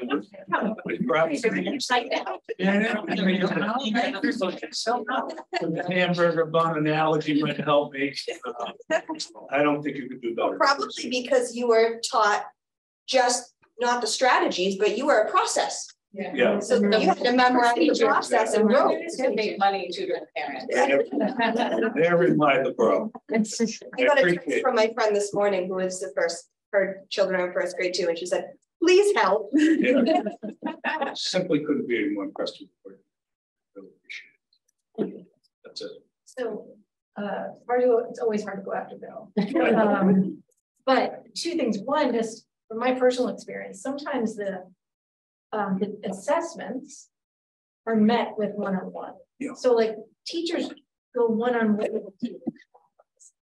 So that's, I mean, that's, it's not how it sounds, but as a parent, I know that you guys and the teachers you work with meet and talk to students. So it's not all digital, even though it sounds Yeah. digital.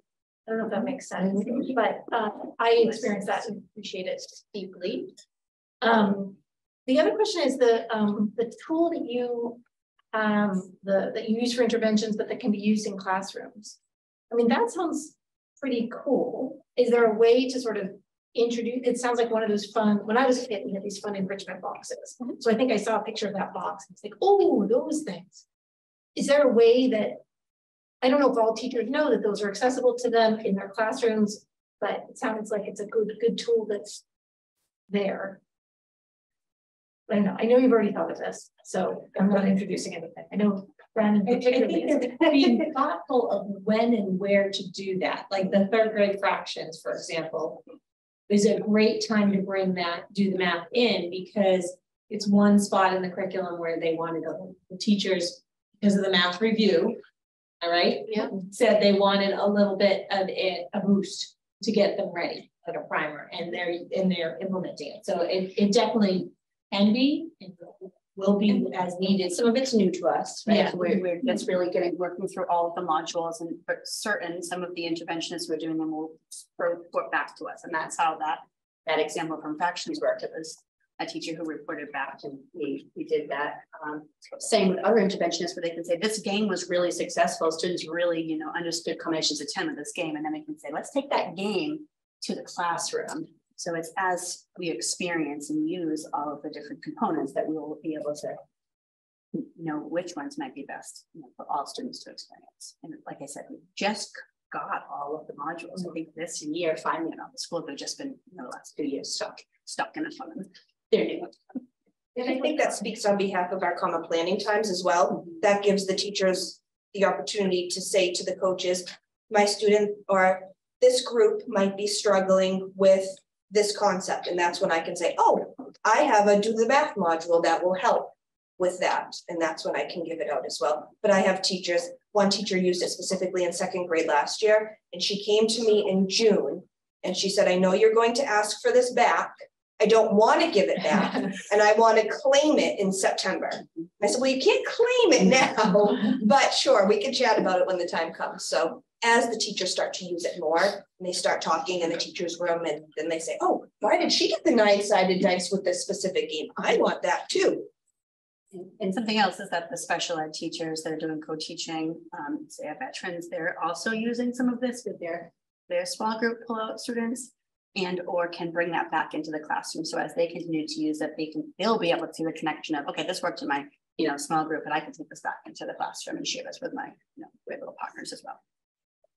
So hopefully over time and experience that will grow. Just sounds like, I mean, I have heard in other contexts that the intervention groups are really fun. Right, so, you know, fun in that is good. I'll have to tell my interventionist to take it down a notch. Diving on the test of the game.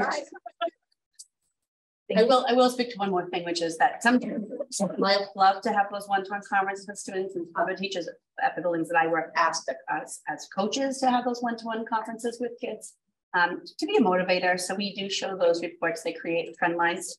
And they love to see their own arrow and their trend line, so we do often share those reports, not every class, not every grade, but um, teachers who are familiar with, with it, uh, have asked us and or themselves, they share with kids, and then students will be like, I'm like, yeah, can you show me, can you pull it up for me? And then they're just trying to repeat themselves really, or keep their arrow going. I just want to follow on what Melissa said, um, you know, this is probably one of the biggest, most important investments that we've made because I just remember years ago trying to figure out, you're doing the work to figure out how our internets were terrible, right? And um, this is just so much more important than figuring out that test. This is what you know should be being taught against the standards and against what kids can do, really taking it to a human level, which is really, you know, from a from my perspective, the most important thing is that kids know you care that they're learning and and these pieces of of how you run the LA, you know, most parents have no concept, right? When you kid learns, you just either learn the routine to, you know, figure out how to divide something or whatever. Um, but there's just so much more um, breadth of information that can help kids master and really understand how it's used, which is the most important thing as they continue going through the grades. So it really was probably one of our biggest, most important investments. And I'm sorry it took so long to get math coaches up to the scale. Um, because we clearly got ELA up to the scale sooner, but um, but we knew how important and just having teachers here with us with the enthusiasm is is to me priceless just to have you know, people that truly care about kids, but also care about like the real materials that that we're using um, that make a difference. So. And math is fun. I was always a math. and you know, we make math a game. I mean, it's sounding like these kids, you know, really that's the way you get kids to practice. It's not homework. Here, you can go home and play this game. And get good at it. Yeah, and it just reinforces, you know, for me, math was all practice, practice, practice. It's not So we should be asking, do you have any games tonight? Not do you have any- Right? Change the whole. Thank you for such a fabulous, um, informative presentation. This, this is really what we hope people will watch our meetings, even if they don't plug in at the same time, but, you know, tell your friends you gave, we would tell our friends you gave a great presentation. We always, um, you know, as school committee members, people don't know that these are kind of the most uh, powerful things we listen to and consider and in our budget, you know, everything, this is, stays in the budget, it's not, you know, not even an issue or a question anymore as to what. Um, we can afford it, it's, you know, what else do we not need, but this is what we need. Thank you very much. Thank you all. Have a great evening. Yeah. Thank you. Yeah.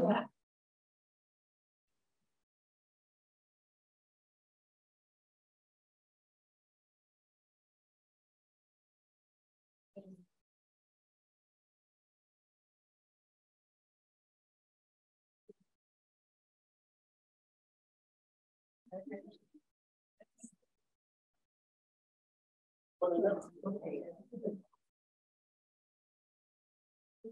Good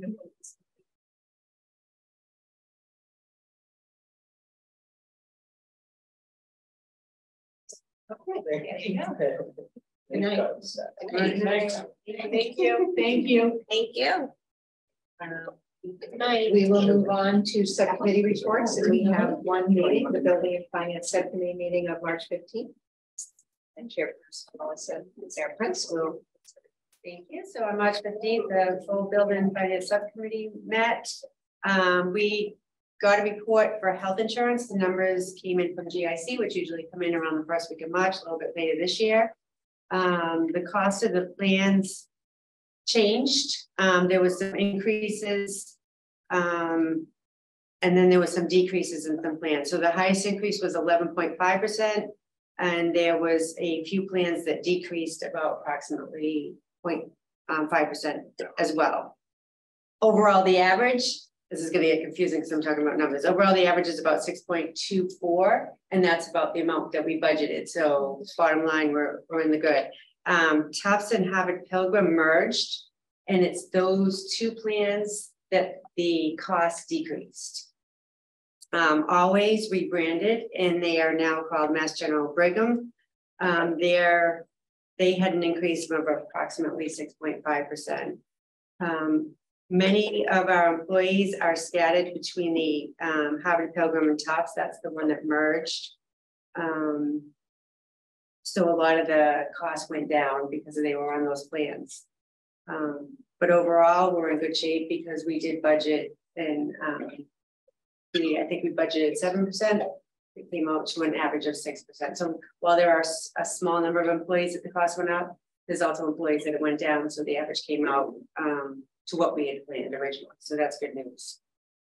Um, for a budget update, we discussed increases in out-of-district tuition for two thousand and twenty-three. Um, with a predicted higher forecast for fiscal year two thousand twenty-four, as we know, costs of um, doing business is going up. Um, out of, out of district transportation had an increase of approximately six hundred and forty-eight thousand dollars. Um, projected to be much higher in fiscal year two thousand and twenty-four. So when we were discussing earlier about costs, um, that is something we have to keep our eye on. Special ed education for fiscal year two thousand and twenty-four is going to be approximately four point five million dollars of our budget. Um, we do a plan to pay that down using prepaid tuition that we save um, at the end of the year. Um, circuit breaker money, we do have a contingency account. Um, but overall, there'll be an increase of over a million dollars as we proceed into two thousand twenty-four. Those costs are going up. Um, we discussed the ESSER budget. As you remember, when we got that funding, we kept a separate budget. Um, expenditures went to salaries and stipends, um, pension, Medicare contract, services, curriculum, playgrounds. Um, I think we should be proud of the fact that the funds were used responsibly and they were managed very well by the administration, which I can't say enough about, um, because we were able to achieve our goals um, to have positive student impacts with that funding that coming from um, federal government. We did some budget transfers. Um, as you know, anything over eight thousand dollars, we have to approve. Um, so we had some transfers from food costs um, to pay for the increase of food that's going up and also some out of district transportation costs. Um, we talked about the auditorium feasibility study. As you know, last meeting, we were gonna accept a grant for twenty-five thousand dollars from the Gloucester Ed Foundation, which would um, put us in a position to match and increase fifty thousand dollars out of our own budget. We referred it to BNF for further discussion. We got a good discussion from administration with some documents. Um, we discussed the conditions of the O'Malley and the high school auditoriums. Um, it was also mentioned that the administration is in discussions with the DPW about the issues of the auditorium as well. Um, issues like broken seats, the where lighting is dim and not strong enough. Um, our sound systems are old, the technology is old, some not repairable. Um, we have to address some storage matters and also some privacy and changing issues are um, can be looked at as well. Um, so the study will provide a review, review and provide an assessment for architectural designs, mechanical engineering, acoustic and lighting, and structural engineering costs um, for both those auditoriums. Um, so we did take a vote on that, which I believe we're going to address tonight as well. Um, we started to have a conversation about alcohol on school grounds. I believe it's in October, the Gloucester four hundred would like to use one of our schools um, to do a function and they've asked to serve alcohol. We really didn't have enough information, so we referred that to a future meeting where we're gonna have that group come in and tell us exactly what type of function it's gonna be. Are they gonna be kids? Is it a family event? Is it not a family event? So that we can make a better decision on um, how we want to proceed in their request to allow alcohol on school grounds. And then we discussed the building use agreement. We have our Girl Scouts um, who have requested to waive their fee, which I believe was about six hundred seventy-five dollars. If you remember when we did the building use um, policy, we put in language that if someone felt they needed assistance in paying, that they could reach out to us, and they did. Um, this is a group that did not pay building use last year, and this year they got a bill. Um, but with the agreement of the DPW, um, which is also a motion for us to discuss tonight, we um, are agreeing that they do not pay um, for the building use for the 18 dates that they use a one classroom. Um, they do still have to pay the $50 application fee, but the subcommittee is going to recommend that we do not charge them for using the platforms. So And they, that, yeah, they don't, they don't collect fees, right, right? they, they don't have a revenue stream like some groups do to um, raise money for the classrooms. Um, So with that being said, I do you want to move on to the action items? Sure. So the um, Building and Finance Subcommittee unanimously voted to. I'm looking at the motion. Where is it on here? I don't even see it on here. The, the um, auditorium one. Or you're something, you're something the grant. It- really, oh, Oh, number three over here. Okay, um, the, we, we voted unanimously and recommended the full school committee that the Gloucester Education Foundation grant in the amount of twenty-five thousand dollars for a feasibility study. The Gloucester High School in the O'Malley Auditorium be accepted, and I so move. Second. Um, discussion. Okay, good report. No one has questions. Excellent.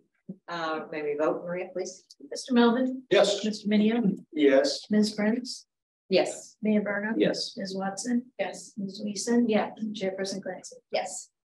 In addition, the Building and Finance Subcommittee unanimously voted to approve the waiver of building use fees for the Girl Scouts, and I so move. Second. I- Go ahead, Laura. Um. So there's a number of Girl Scout troops in this city. Um, and I'm just wondering if they, um, I don't know how many, but I'm wondering if this is a privilege that would be given to all of them. Can I just, so, um. It's okay if I mention that. Um, so something that, as, as the building BNF subcommittee has worked through this and obviously you know, a number, number of pieces and parts. Um, something I've been very clear about is I don't want to create exceptions for individual organizations. We need to create rates for uh, classes of organizations. Okay, so the one that that we're creating now, okay, is for youth serving organizations. So we already have a different fee schedule for youth serving organizations, but this is for ones that don't charge any um, fees. Like they don't have, they're not charging fees for participation for their group. So the Girl Scouts is an example of that, but there may be others. Well, Girl Scouts of America of Eastern Massachusetts, does charge. I mean, any, so. I'm not an expert, but Girl Scouts of Eastern Massachusetts is a part of Girl Scouts America and. They do, but are, are the, are the troops charging the participants? I think what they charge is like minimal and it covers the cost of like the badges and things like that. I don't, I wouldn't say yeah, say no, I didn't say they have a their revenue, fee that based on Yeah. cost to run their program. right, no, It's more or less on. hundred percent, but I No, I mean, mean, the Girl Scouts of America is a very wealthy organization. Right, I'm no, trying to no, It's not. okay? no, no, but it- It's a lot of cookies out of this. that doesn't go to the troops, I know that. Right, Yeah. yes, no, For yeah, fact. yeah, yes. So, but I'm just playing devil's advocate a little bit here, because we have a number of troops. in this city. Um, So it's not a specific truth. Mhm. This, Well, in this- fact, in fact, I guess I might, might even say that this is actually worded incorrectly, because as, as the, as the B and F. If we voted, it was for youth serving or- organizations that don't charge a fee. That, that's what we should be voting on, right, not Girl Scouts. That's the new category. Right, that's a new category, because we have, you know, the other, other category that, that since, since the original vote. On the, uh, change in the, the building use policy procedures, we had one other change, and that was for, for these, high use organizations. Serving high use organizations, okay? Um, so, so that's, a that's a class we created, now this, this would be a second, another class, which is, you know, use serving, that don't charge user fees, basically, you know? Or, or toward not, or toward nominal ones, okay? Um, because I, I can't have another organization come. You know, that's you serving, but it, you know, and said, but they got a deal, I need it. I'm not, I'm not going down that road. no, no, of course, and that's why I'm asking the specific question, because this specific organization has. Yeah. You know, they, I think they would all fall under the same category. right, so that's my question. Yeah, Yeah, I mean, yeah. that's, that, the category is a youth serving organization that has no revenue stream. Right, right. That, fall- all of those troops would fall under that category. So then, For use of. So I just want to be clear that we didn't have, this is a new discussion. We didn't really go this far at B and F, We focused on the Girl Scouts. So, no, And talked about how they would charge six hundred seventy-five dollars. For their fee and they didn't pay last year and that's the documentation we got. I didn't, I didn't, my takeaway wasn't that this was a. A bigger ask, not that I wouldn't agree with it, but I just want to be clear in that. no, I, I, I, I, I'd like to show you, show the committee rather. Okay, what we. Shared at the committee. Eighteen dates Girl Scouts. So, so, so, one. Waiver, no fee collected youth organizations. We're using the Girl Scouts as example, that's the only organization we have that fits in this category right now. Okay. The only group that uses this, um, uh, you know, that fits in this category. So then the issue is, the motion that came out of that discussion was about the Girl Scouts, not about. The waiver for the no fee collected. So we Should be would about need the new category. It We have should, to should, fix and that was, that. that was the That's all intention. saying. So I, you know, I, Yeah. I probably wasn't paying attention when the motion was made, honestly. I should have caught it. Um, but, but the attention is not for Girl Scouts, it's for these no For this fee collecting, yes. And then that's why I titled it very purposely this way, you know, um, and changed that when Gary first brought it to me. Um, because it, again, it's it's not about the organization, it's about class of organizations. So we'll probably have to do.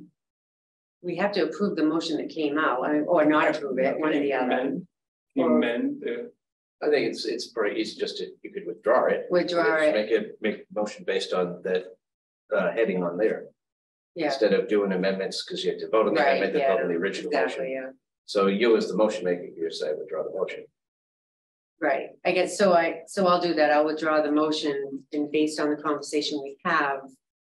We had, I believe would support the language of the new motion coming out, that's how I would say that. Which I don't know what that motion would be, I guess the motion, well, we have to vote on the withdrawal, right? Who seconded it? Oh, no, you don't vote, you don't No, vote. just you withdraw. When I withdraw it, someone has to agree to withdraw the second, no? Or you just vote no on your motion and start all over. Instead, I, I, I think the least confusing thing is that I'm gonna vote no on your motion. Right. And then. after- No, so I would just withdraw the motion, but I thought you had to do something on the second. I don't have my Robert's rule cheat sheet book with me, so. But anyway, okay, so the motion's withdrawn.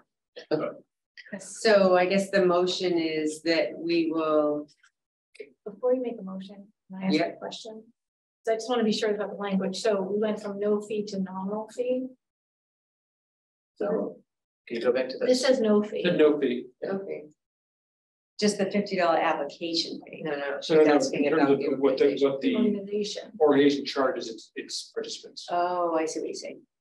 So just to be clear, So we didn't have that discussion. to be accurate. Yeah. So that, let me ask you this then, because I would have asked you the other night. If I had understood it better. Um. How are you categorizing the groups that we intend to waive their fee? So I don't intend to waive the fee of any group unless they fall into this category. Right, okay, so who falls under this category? What is, During BNF, it was no fees. So, so I don't know how to do nominal fees. I think more about that, but it was. when you my- say no fee, what do you mean by no fee? that I was, I was under the impression or understanding, I should say, I, what I understood was that Girl Scouts specifically. Don't charge a fee, A rental fee, a user fee, a user fee? okay? And so, in order to create, so we have to, I want to create, create any, uh, treat rather. Any user or agent in that same boat, the same way, Right, okay? no, I get that. you Yeah, so, so, so for me, the category was, uh, user or agent that don't charge a fee to users. So you mean, Uh, you if I sign up, I don't pay any fee to belong to the group? That's right. Because if that's the case, I don't know that the Girl Scouts fall into that We category. have to, I think Right. we have to look. I'm not trying to make it difficult, I just want to. Well, How time sensitive is this? Do we have, I mean. No, we can, we can go back to it might be- this. Yeah. it We might should be better, probably go so back Instead to of us guessing here. Yeah, Well, exactly. What about Laura's word of nominal? I mean, to me, That- But then we have to define nominal, is it under hundred dollars, over hundred dollars, Right, right? We don't have time to do that right now.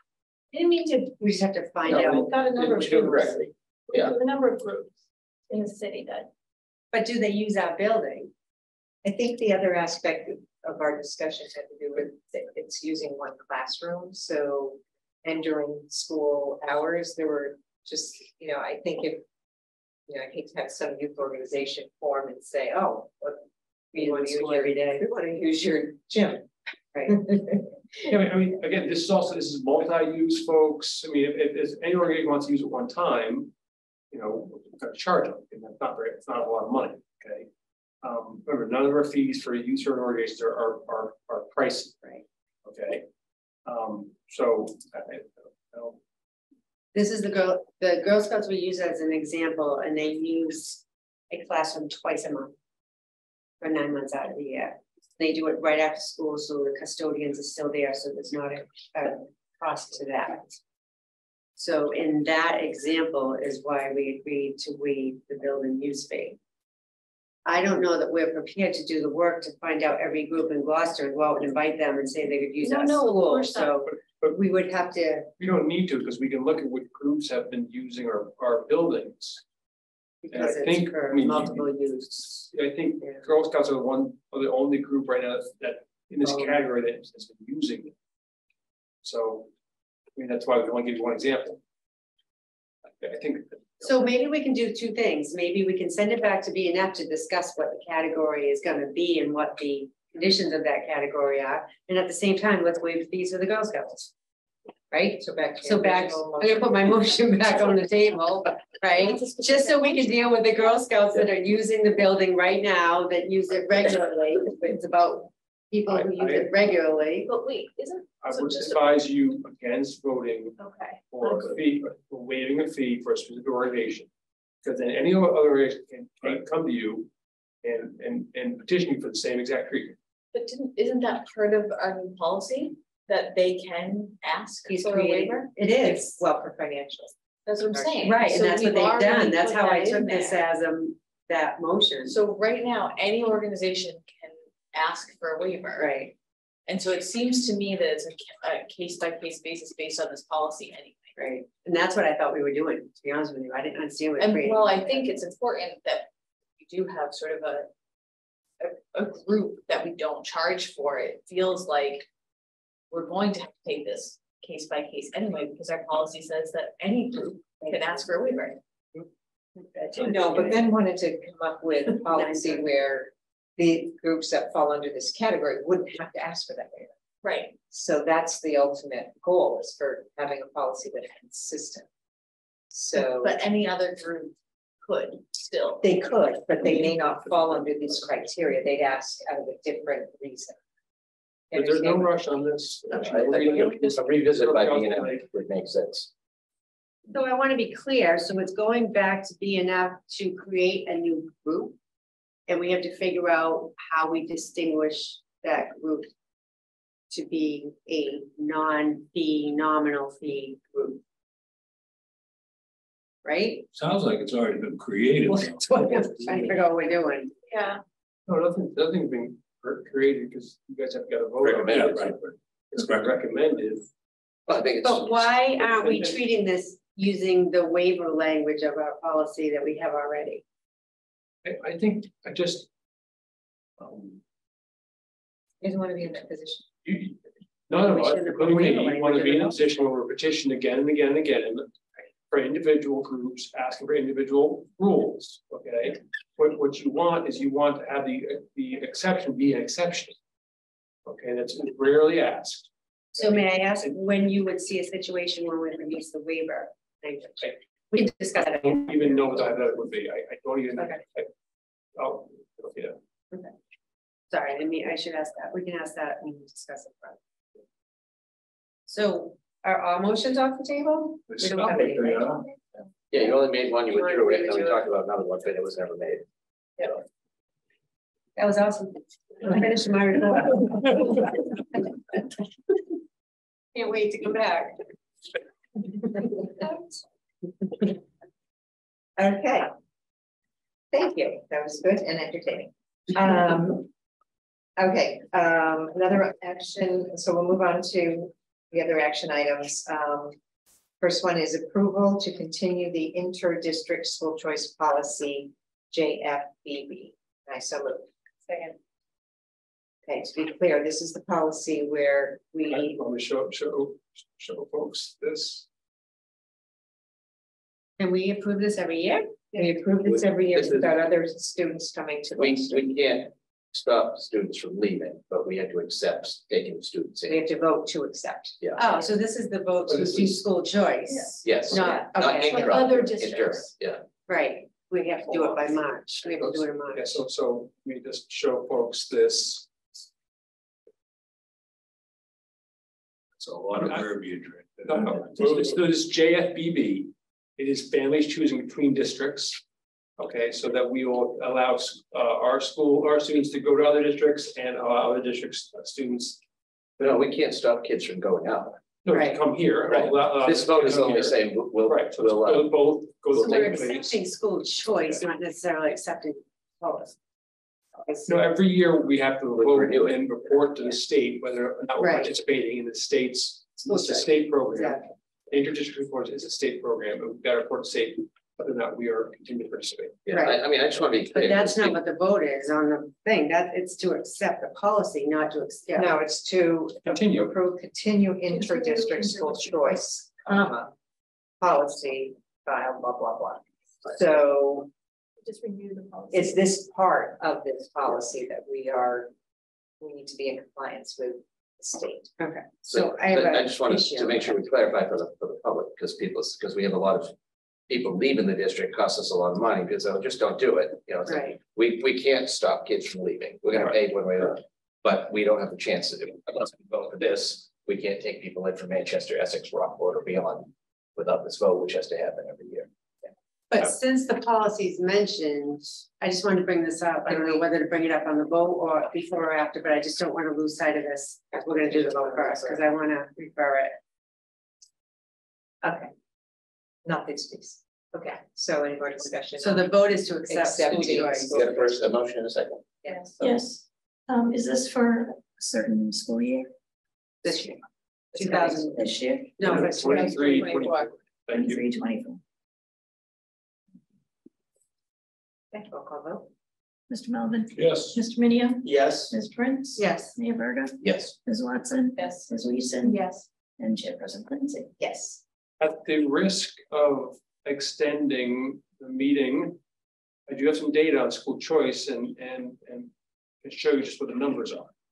You've asked for us when we did when we did enrollment report in the fall, we didn't have the school choice numbers. until don't. I have those now. You asked for them, should I show them? Is it a lot of information? or- Depends how many questions I get.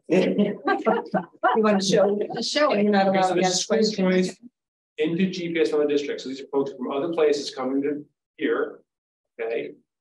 That is uh. 21, 25, 28 students, okay? This is school choice in from other districts by grade level. Is school choice out to other districts over the last six or seven years. Okay. But that does not include Essex Tech. This is, and this is a school choice for, for this current year out by town. Okay, so for students who live in Gloucester, going to other school districts, not Essex Tech. Okay. I'll show you the breakdown of Rockport a little bit, okay? This is Essex Tech. So pretty consistent. Interesting about Essex Tech this year, which is, which is an anomaly, is you have very few kids in the upper grades and a much higher. Typically, in the past years, you've seen this equally distributed across different grades at the high school. This is an anomaly, I'm not quite sure why, but you see forty-two at, um, at, uh, at ninth grade, and a lot fewer at the other grades. Could be something to do with pandemic enrollment, I'm not quite sure, but that's different than we typically see. It's been, there's been quite a bit of attrition back into Gloucester High over the past few years from, from, from Rockport. That's it. And then this is the last slide. This is Rockport's, our choice into Rockport from Gloucester. Okay, you see on the totals on the right, two thirty-five, six years ago down to one eighty-one. That's fifty-four students. Fewer now than there were. See, and you see declines at every area, but particularly at, at um elementary and and the high school in this order than than uh, less at the, middle. Um, So I think that's one, I think that's interesting. I think it's helpful. And um, you see particular, you know, kids coming back since um, the pandemic as well. So um, we'd like to see all of these numbers, people choicing out go down. Um, as you can see here, they've gone down some recently.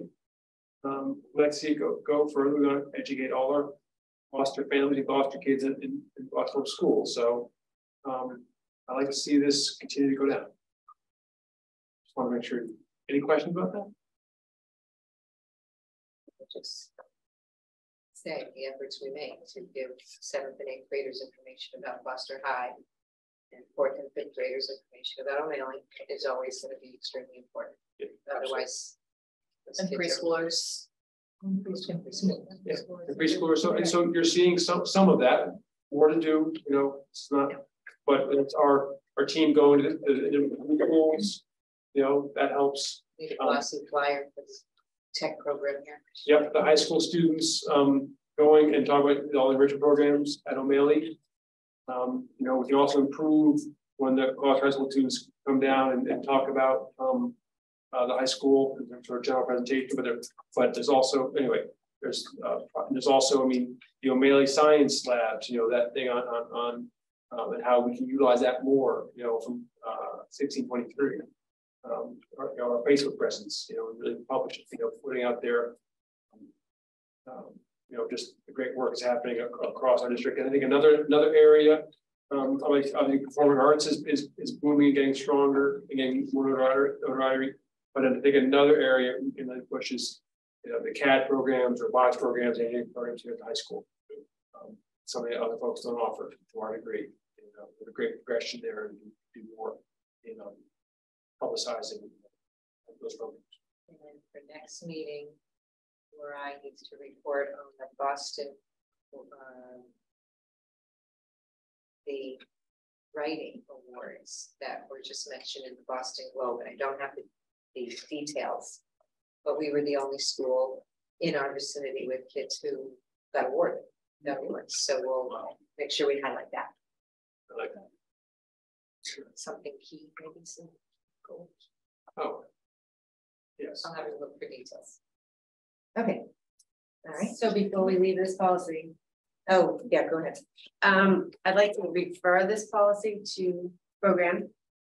Um, to see how, you know, how we have families asking about the. The redistricting that we did and, and their ability for siblings to get in as a priority. If possible, down the road, um, after the plan, we did a five-year plan, but there seems to be some families that are lingering. So I'd be curious to see if this policy can accommodate any of that, if we need to add it to a policy, or if it's just a discussion we have. Um, as ongoing discussions. About when we get to that year, will there be room, right? So it affects this policy. No, I think this is the, this is not in district, this policy. Oh, that's the intra-district policy? This is, yeah, this is inter-district, this is between different districts, school districts, not Okay. policy. Then we don't need to do that as long as the intra-district policy reflects that somewhere that that. I don't know if we have to modify that policy to say that we may be able to give professional. Um, priority treatment. Just should be in writing somewhere. I mean, the school committee can look totally different in two years if people didn't run, right? So we just need to keep that messaging consistent in a policy. So I would just like to see if that language needs to be changed or if there's other safeguards in place to have that discussion down the road. Um, but this policy, I would like to refer um, in reading number seven and eight. Um, I can't help but wonder if how we would address a situation where a student who is currently in our schools and then moves to another district, but wants to stay in the school for the remainder of the year. And I don't know that this policy covers that situation. I mean, um, I- this says that you have to request by the beginning of the year, but when a student moves mid-year, Yeah. it doesn't address the issue. Um, if whether or not they can stay under school choice, knowing they were here for a majority of the year. I, I know somebody actually personally who was in that situation. So it's happened a couple Yeah, times it's in the happened past right couple of so years. I know. So Well, I the think student starts here. starts here, moves to another district, Yeah. meaning like moves to Like Rockport, Peabody okay. or Rockport. Yeah.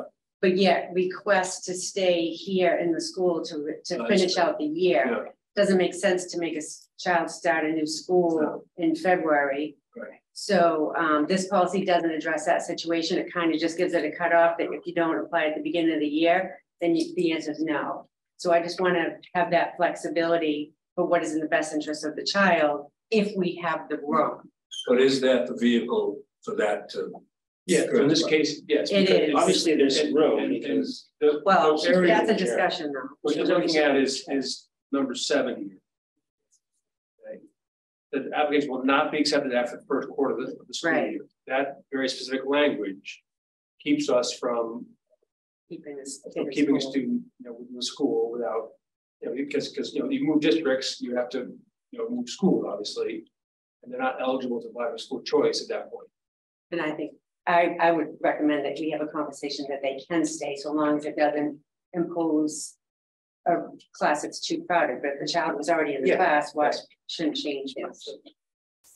But I think we just need to look at that language so that if the subcommittee agrees.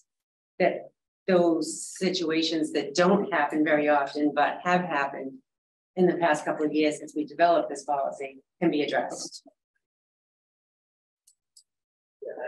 There you go. I don't see any So, rationality we haven't had a meeting.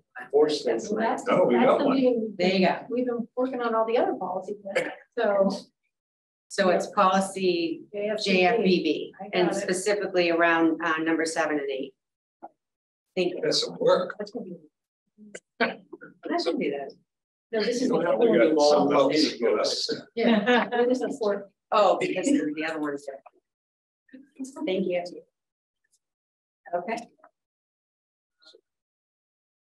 All right, so we have some grants to accept, um, other grants.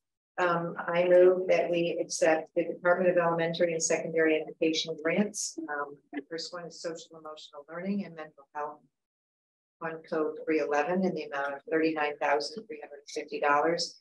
And this is for Gloucester High School in O'Malley. Second grant from the Department of Ed is hate crimes prevention grant, fund code 794-2 In the amount of forty-eight thousand eight hundred and thirty dollars for Gloucester High School in O'Malley. And the third one is the Mass Grad Grant in the amount of fifteen thousand dollars uh, for Gloucester High School. And I so. Second. And so, any of these matching grants or anything, or is this just grants coming our way? I mean, All three of them are grants that we have previously had and they're giving us more money for them. thank them very much. Okay. Maria, roll call vote, please. Mr. Melvin. Yes. Mr. Minio, Yes. Ms. Prince. Yes. Mayor Verga, Yes. Ms. Watson, Yes. Ms. Wiessen. Yes. and Chairperson Clancy. Yes. Okay. Um, then the second group of grants is also from the Department of Elementary and Secondary Education amendments. Um, first one is Mental Health Social Emotional Learning Fund Code 332 slash 311 grant in the amount. Oh, isn't that the That's same? a duplicate. That's a duplicate. Yep. Forget I said that part. Okay, Title One Fund Code 305 grant in the amount of $1,175. Title Two A Fund Code one forty grant in the amount of one thousand one hundred and twenty-four dollars. IDEA Fund Code two hundred and forty grant, four thousand two hundred and eighty-two dollars. Early Childhood Fund Code Grant two sixty-two in the amount of hundred and four dollars, and I so moved. Yeah. Discussion. Okay, roll call vote. Mr. Melvin. Yes. Mr. Minio, Yes. Ms. Prince. Yes. Mayor Verga, Yes. Ms. Watson, Yes. Ms. Wiessen. Yeah. Yes. So that concludes the action items. Um, East Veterans Elementary School update. Budget on time, Looks great. under budget on time. Yeah. Yeah. And Um, we're going to have a school committee uh tour. On. Second, We were suggesting April fourth. uh, Tuesday, The Tuesday is the third. yes, April fourth, April fourth. Yeah, yeah, Tuesday, April fourth. Um, we have two people that can't do it. We're hearing of the night. Can't do Tuesdays. Chair, can the chair work on a date, the Stephanie work on a date? Yeah. Can Monday be okay? Not if it's a set, um, first one. I'm home that day. I wanna see it. All right. Yeah. Any Monday after, let's try for the tenth. Um, I think we really do want to get in the building sooner than not because um, it's just a lot of really good progress and things to see. Um, while it's still actually happening as opposed to going in and saying, oh, that's not. So it's kind of a lot done, but still a lot. I don't know, it's kind of fun to watch. How it- No, I'm how it comes forward, and um, we are now three months from substantial completion. So we are moving. Quite Furniture coming? So we wanna see what the skeletons are. pretty good on the toe. No skeleton. Yeah, I know. Um, uh, we are, uh, city council has been invited to the door on the twenty seventh. That's Monday. But They have an update. that may move. That may move, that may move. All right, so. Or we- maybe we take the twenty fifth, twenty seventh, that's the date, so we'll That's have. this Monday. Twenty seventh, this coming Monday. Yeah. That's kind of What quick. Yeah. What time? Um, three thirty? Third. Oh. Oh, no, we have, um, we have negotiation. Yeah. Good night, April. You, oh, they want them in the during, during the day. Let's do it During on the day? Saturday. It's, it's, it's During the not day? as easy during the day because they're Okay, older we're good. school, Okay. Okay, more dangerous. I'll have Stephanie reach out. Yes. please. Yeah. Okay, thank you. Saturday. Because they are doing a little bit of work on Saturday. It doesn't work on Saturdays, So somebody is there, Yeah, Saturday would do it. ideal. Maybe Maybe less coordinating. I think so too. Oh, yeah. All right, I might have to bring my kid. all right, so that's, um. Any other business, anybody wants to? Move to adjourn? Second. Roll call vote, Maria? Mr. Melvin. Yes. Mr. Minio, Yes. Ms. Prince. Yes. Mayor Verga. Yes. Ms. Watson. Yes. Ms. Wiessen. Yeah. Person Lance. Yes. Good night. Night, everyone. Thank you for the attendees.